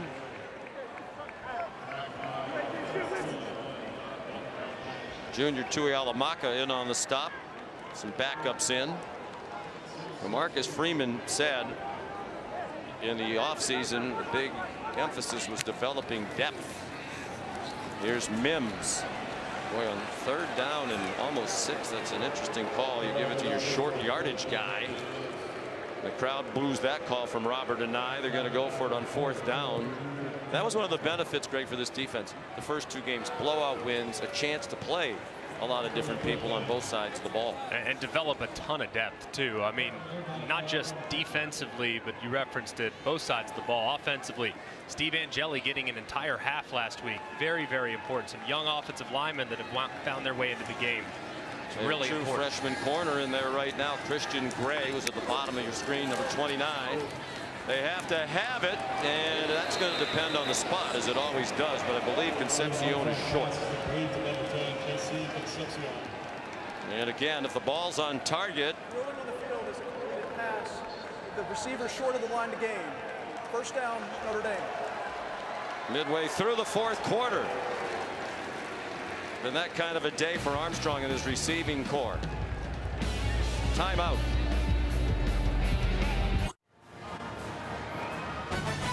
Tonight at 7 on ESPN, the marquee matchup of the weekend. Number 11, Texas. Number 3, Alabama.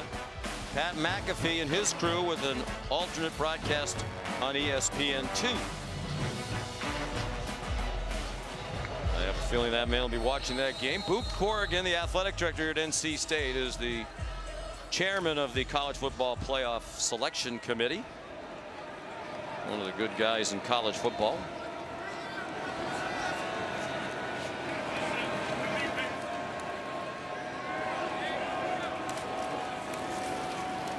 Audric Estime. Powers across midfield. How do you like your alma mater's chances of getting back into the college football playoff this well, year? We're going to learn a lot tonight, and not just about Alabama, but about Texas, too. I mean, long we've discussed is Texas back. Well, the roster appears ready. They have tremendous wide receiver play. Defensively in the front seven, they've grown by leaps and bounds the last couple years. A few impact transfers that will fill in some voids where they didn't have depth previous years. And then it really, I think, is going to come down a lot to the quarterback play. Quinn Ewers certainly had his ups and downs for Texas, but appears, based on what you've heard in the offseason, is really taking a step forward as far as his development. And then Jalen Milroe at Alabama, tremendous athlete, but can he, if Texas can slow down that rushing attack, can he throw it over their heads and make them pay? Darian Price carried for a Notre Dame first down, 6.40 to go. And Notre Dame comfortably on its way to 3 0. And their 29th straight regular season win against an ACC opponent. The last time they lost to an ACC team in the regular season was 2017 against Miami. They're 32 and 1 in the last 33 against ACC competition. Includes 17 straight road wins against the ACC. Love squirts up the middle. 12, Jeremiyah Love. Notre Dame, though, I mean, they have the makings of a team that could really shake things up. Obviously, next week, not going to really be challenged, at least you would hope, against Central Michigan. But my goodness, on September 23rd, welcoming the Buckeyes mm. to South Bend. And hey, if there's one thing we've learned, and I know it's, it's against NC State, and their wide receiver corps is not quite where the Buckeyes are, but these corners and these safeties have really impressed me. That's going to be a fascinating matchup to watch. Those Ohio State wide receivers against this back end for the Irish. Gi'Bran Payne stacked up after a short game. Don't sleep on that game at Duke. That was no fluke the other night, Monday night in Durham, and they beat Clemson, which was the preseason favorite to win the ACC. That is a talented and very well coached Duke team. That is, and I think Notre Dame's schedule, and they, I know a lot of people give them a hard time. I think their schedule is really difficult. Not just because I think the ACC collectively is better. I think just the variety that you face throughout the season, it's always that way. I mean, you got triple option, you got teams that will spread you around, you got quarterbacks that can create in the run game. I mean, they're going to see a lot of different looks, and I think it's a gauntlet for the Irish, but I think they might be able to get there. I really believe it. Hartman has a man open, and another touchdown for Holden Staes.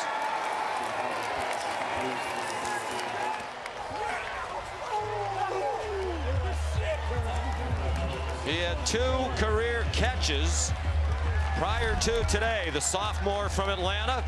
He has scored two touchdowns today. And against that fast-flowing defense, the misdirection has been problematic for NC State at times today. They fake the run to the left. They boot Sam Hartman out to the right. And the defender in the back end for the Wolfpack, Sean Brown, kind of falls asleep at the wheel. Staes gets him behind him. And Hartman notches his fourth touchdown pass of the afternoon. Four catches, 115 yards receiving, and two touchdowns for Staes. Said we liked him. I didn't think we expected this kind of outburst. Well, the coach has said the tight ends will be involved. They've scored three touchdowns for the Irish today. Well, the three Notre Dame tight ends, Holden Staes, Davis Sherwood, Mitchell Evans, have combined six catches, 127 yards, and three touchdowns. Two of those scores by Holden Staes. With 115 yards receiving, far and away a career high. He had one catch last year for 11 yards and one for four yards this season. That was it. Of course, much more opportunity now. And the kickoff goes out of bounds. Sam Hartman's been terrific today. This throw on the double post, his eyes are on that safety. He works him to the inside, times it beautifully.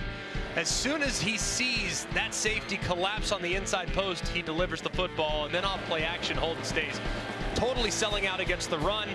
They slip, Staes out in the flat, does a great job tightrope in the sideline and continuing on inbounds to find the end zone yet again, and then Staes a little bit later, just drifting to his right.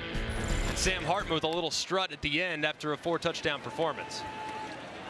Kendrick Raphael takes the handoff.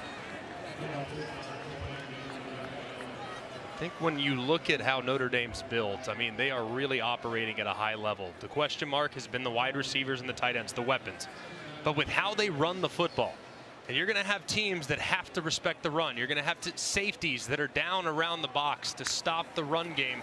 They're going to get a lot of really favorable matchups, and they've taken advantage of it today. Armstrong on target. Porter Rooks the catch. Antonio Carter had coverage. He's a transfer from Rhode Pass Island. Defense number four. And he got five. flagged for pass interference. Carter from Orlando, Florida. Started all 11 games at safety for the Rhode Island Rams last year. He's been a nice addition. Adding some depth to that secondary. Armstrong almost picked off again. Looked like Christian Gray, the freshman, was content just to bat it down when perhaps he could have picked it off. They really did a great job of breaking on this ball. He tried to get a couple hands there, but Just couldn't quite reel it in, but still a tremendous pass breakup from the freshman.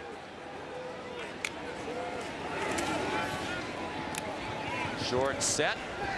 And a quick throw to Porter Rooks, the junior from Charlotte of Myers Park High School, which also produced Drake Maye, the North Carolina quarterback. Gain of nine.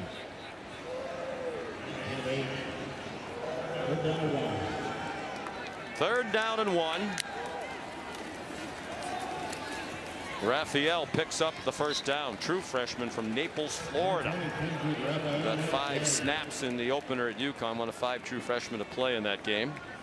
I think when you look at NC State too, I know it's a demoralizing performance, but still, I mean, so much left on the schedule. This obviously won't affect where you stand in ACC play, but a lot of winnable games in the next few weeks at home. And they can still, I think, do a lot of good things this year if they can clean some things up defensively and really get the passing attack going. Donovan Hinish the sack. The first sack of the day seems hard to believe with as much as they've been around Armstrong. His brother Kurt was a terrific defensive lineman now in the National Football League. He starred at Notre Dame as well. Donovan Hinish a backup trying to work his way to the front of their rotation up front. Armstrong has a man open near sideline caught short of the first down. Raphael again.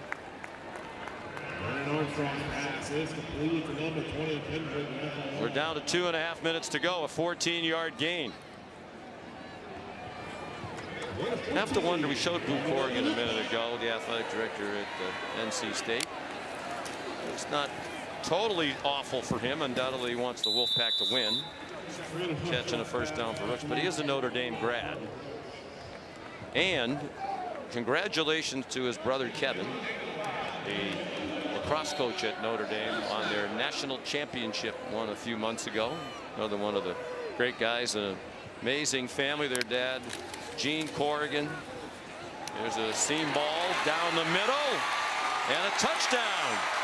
Dakari Collins, the transfer from Clemson, with his first catch for the NC State Wolfpack, and it winds up in the end zone. A 23-yard score. It was a nice route, too, by Dakari Collins working to the inside. You see how he's able to create that immediate separation, and that was a nicely timed throw from Brennan Armstrong. There's been a few times today where he's been a little late, hasn't really trusted the receiver. That time he throws it on time before the defender can arrive, and Dakari Collins falls forward into the end zone. Collins has been banged up a little bit, so hasn't seen much playing time in these first two games. Brayden Narveson adds the extra point. And it's 45-24 with 2.03 to go.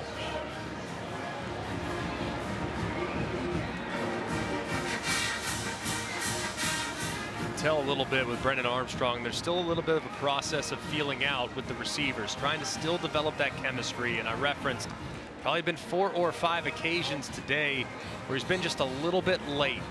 Had he delivered the ball just a little bit sooner, anticipated just a little bit better, would have given his receivers a whole lot more space to be able to work with the ball in their hands. So I think they're just going to have to continue to work on that. He's going to have to continue to get comfortable and develop that rapport with some of the guys he's going to be trusting on the outside.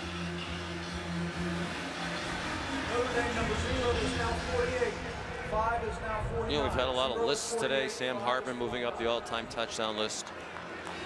Brennan Armstrong number one in career passing yards in the ACC all time among lefties. there you go.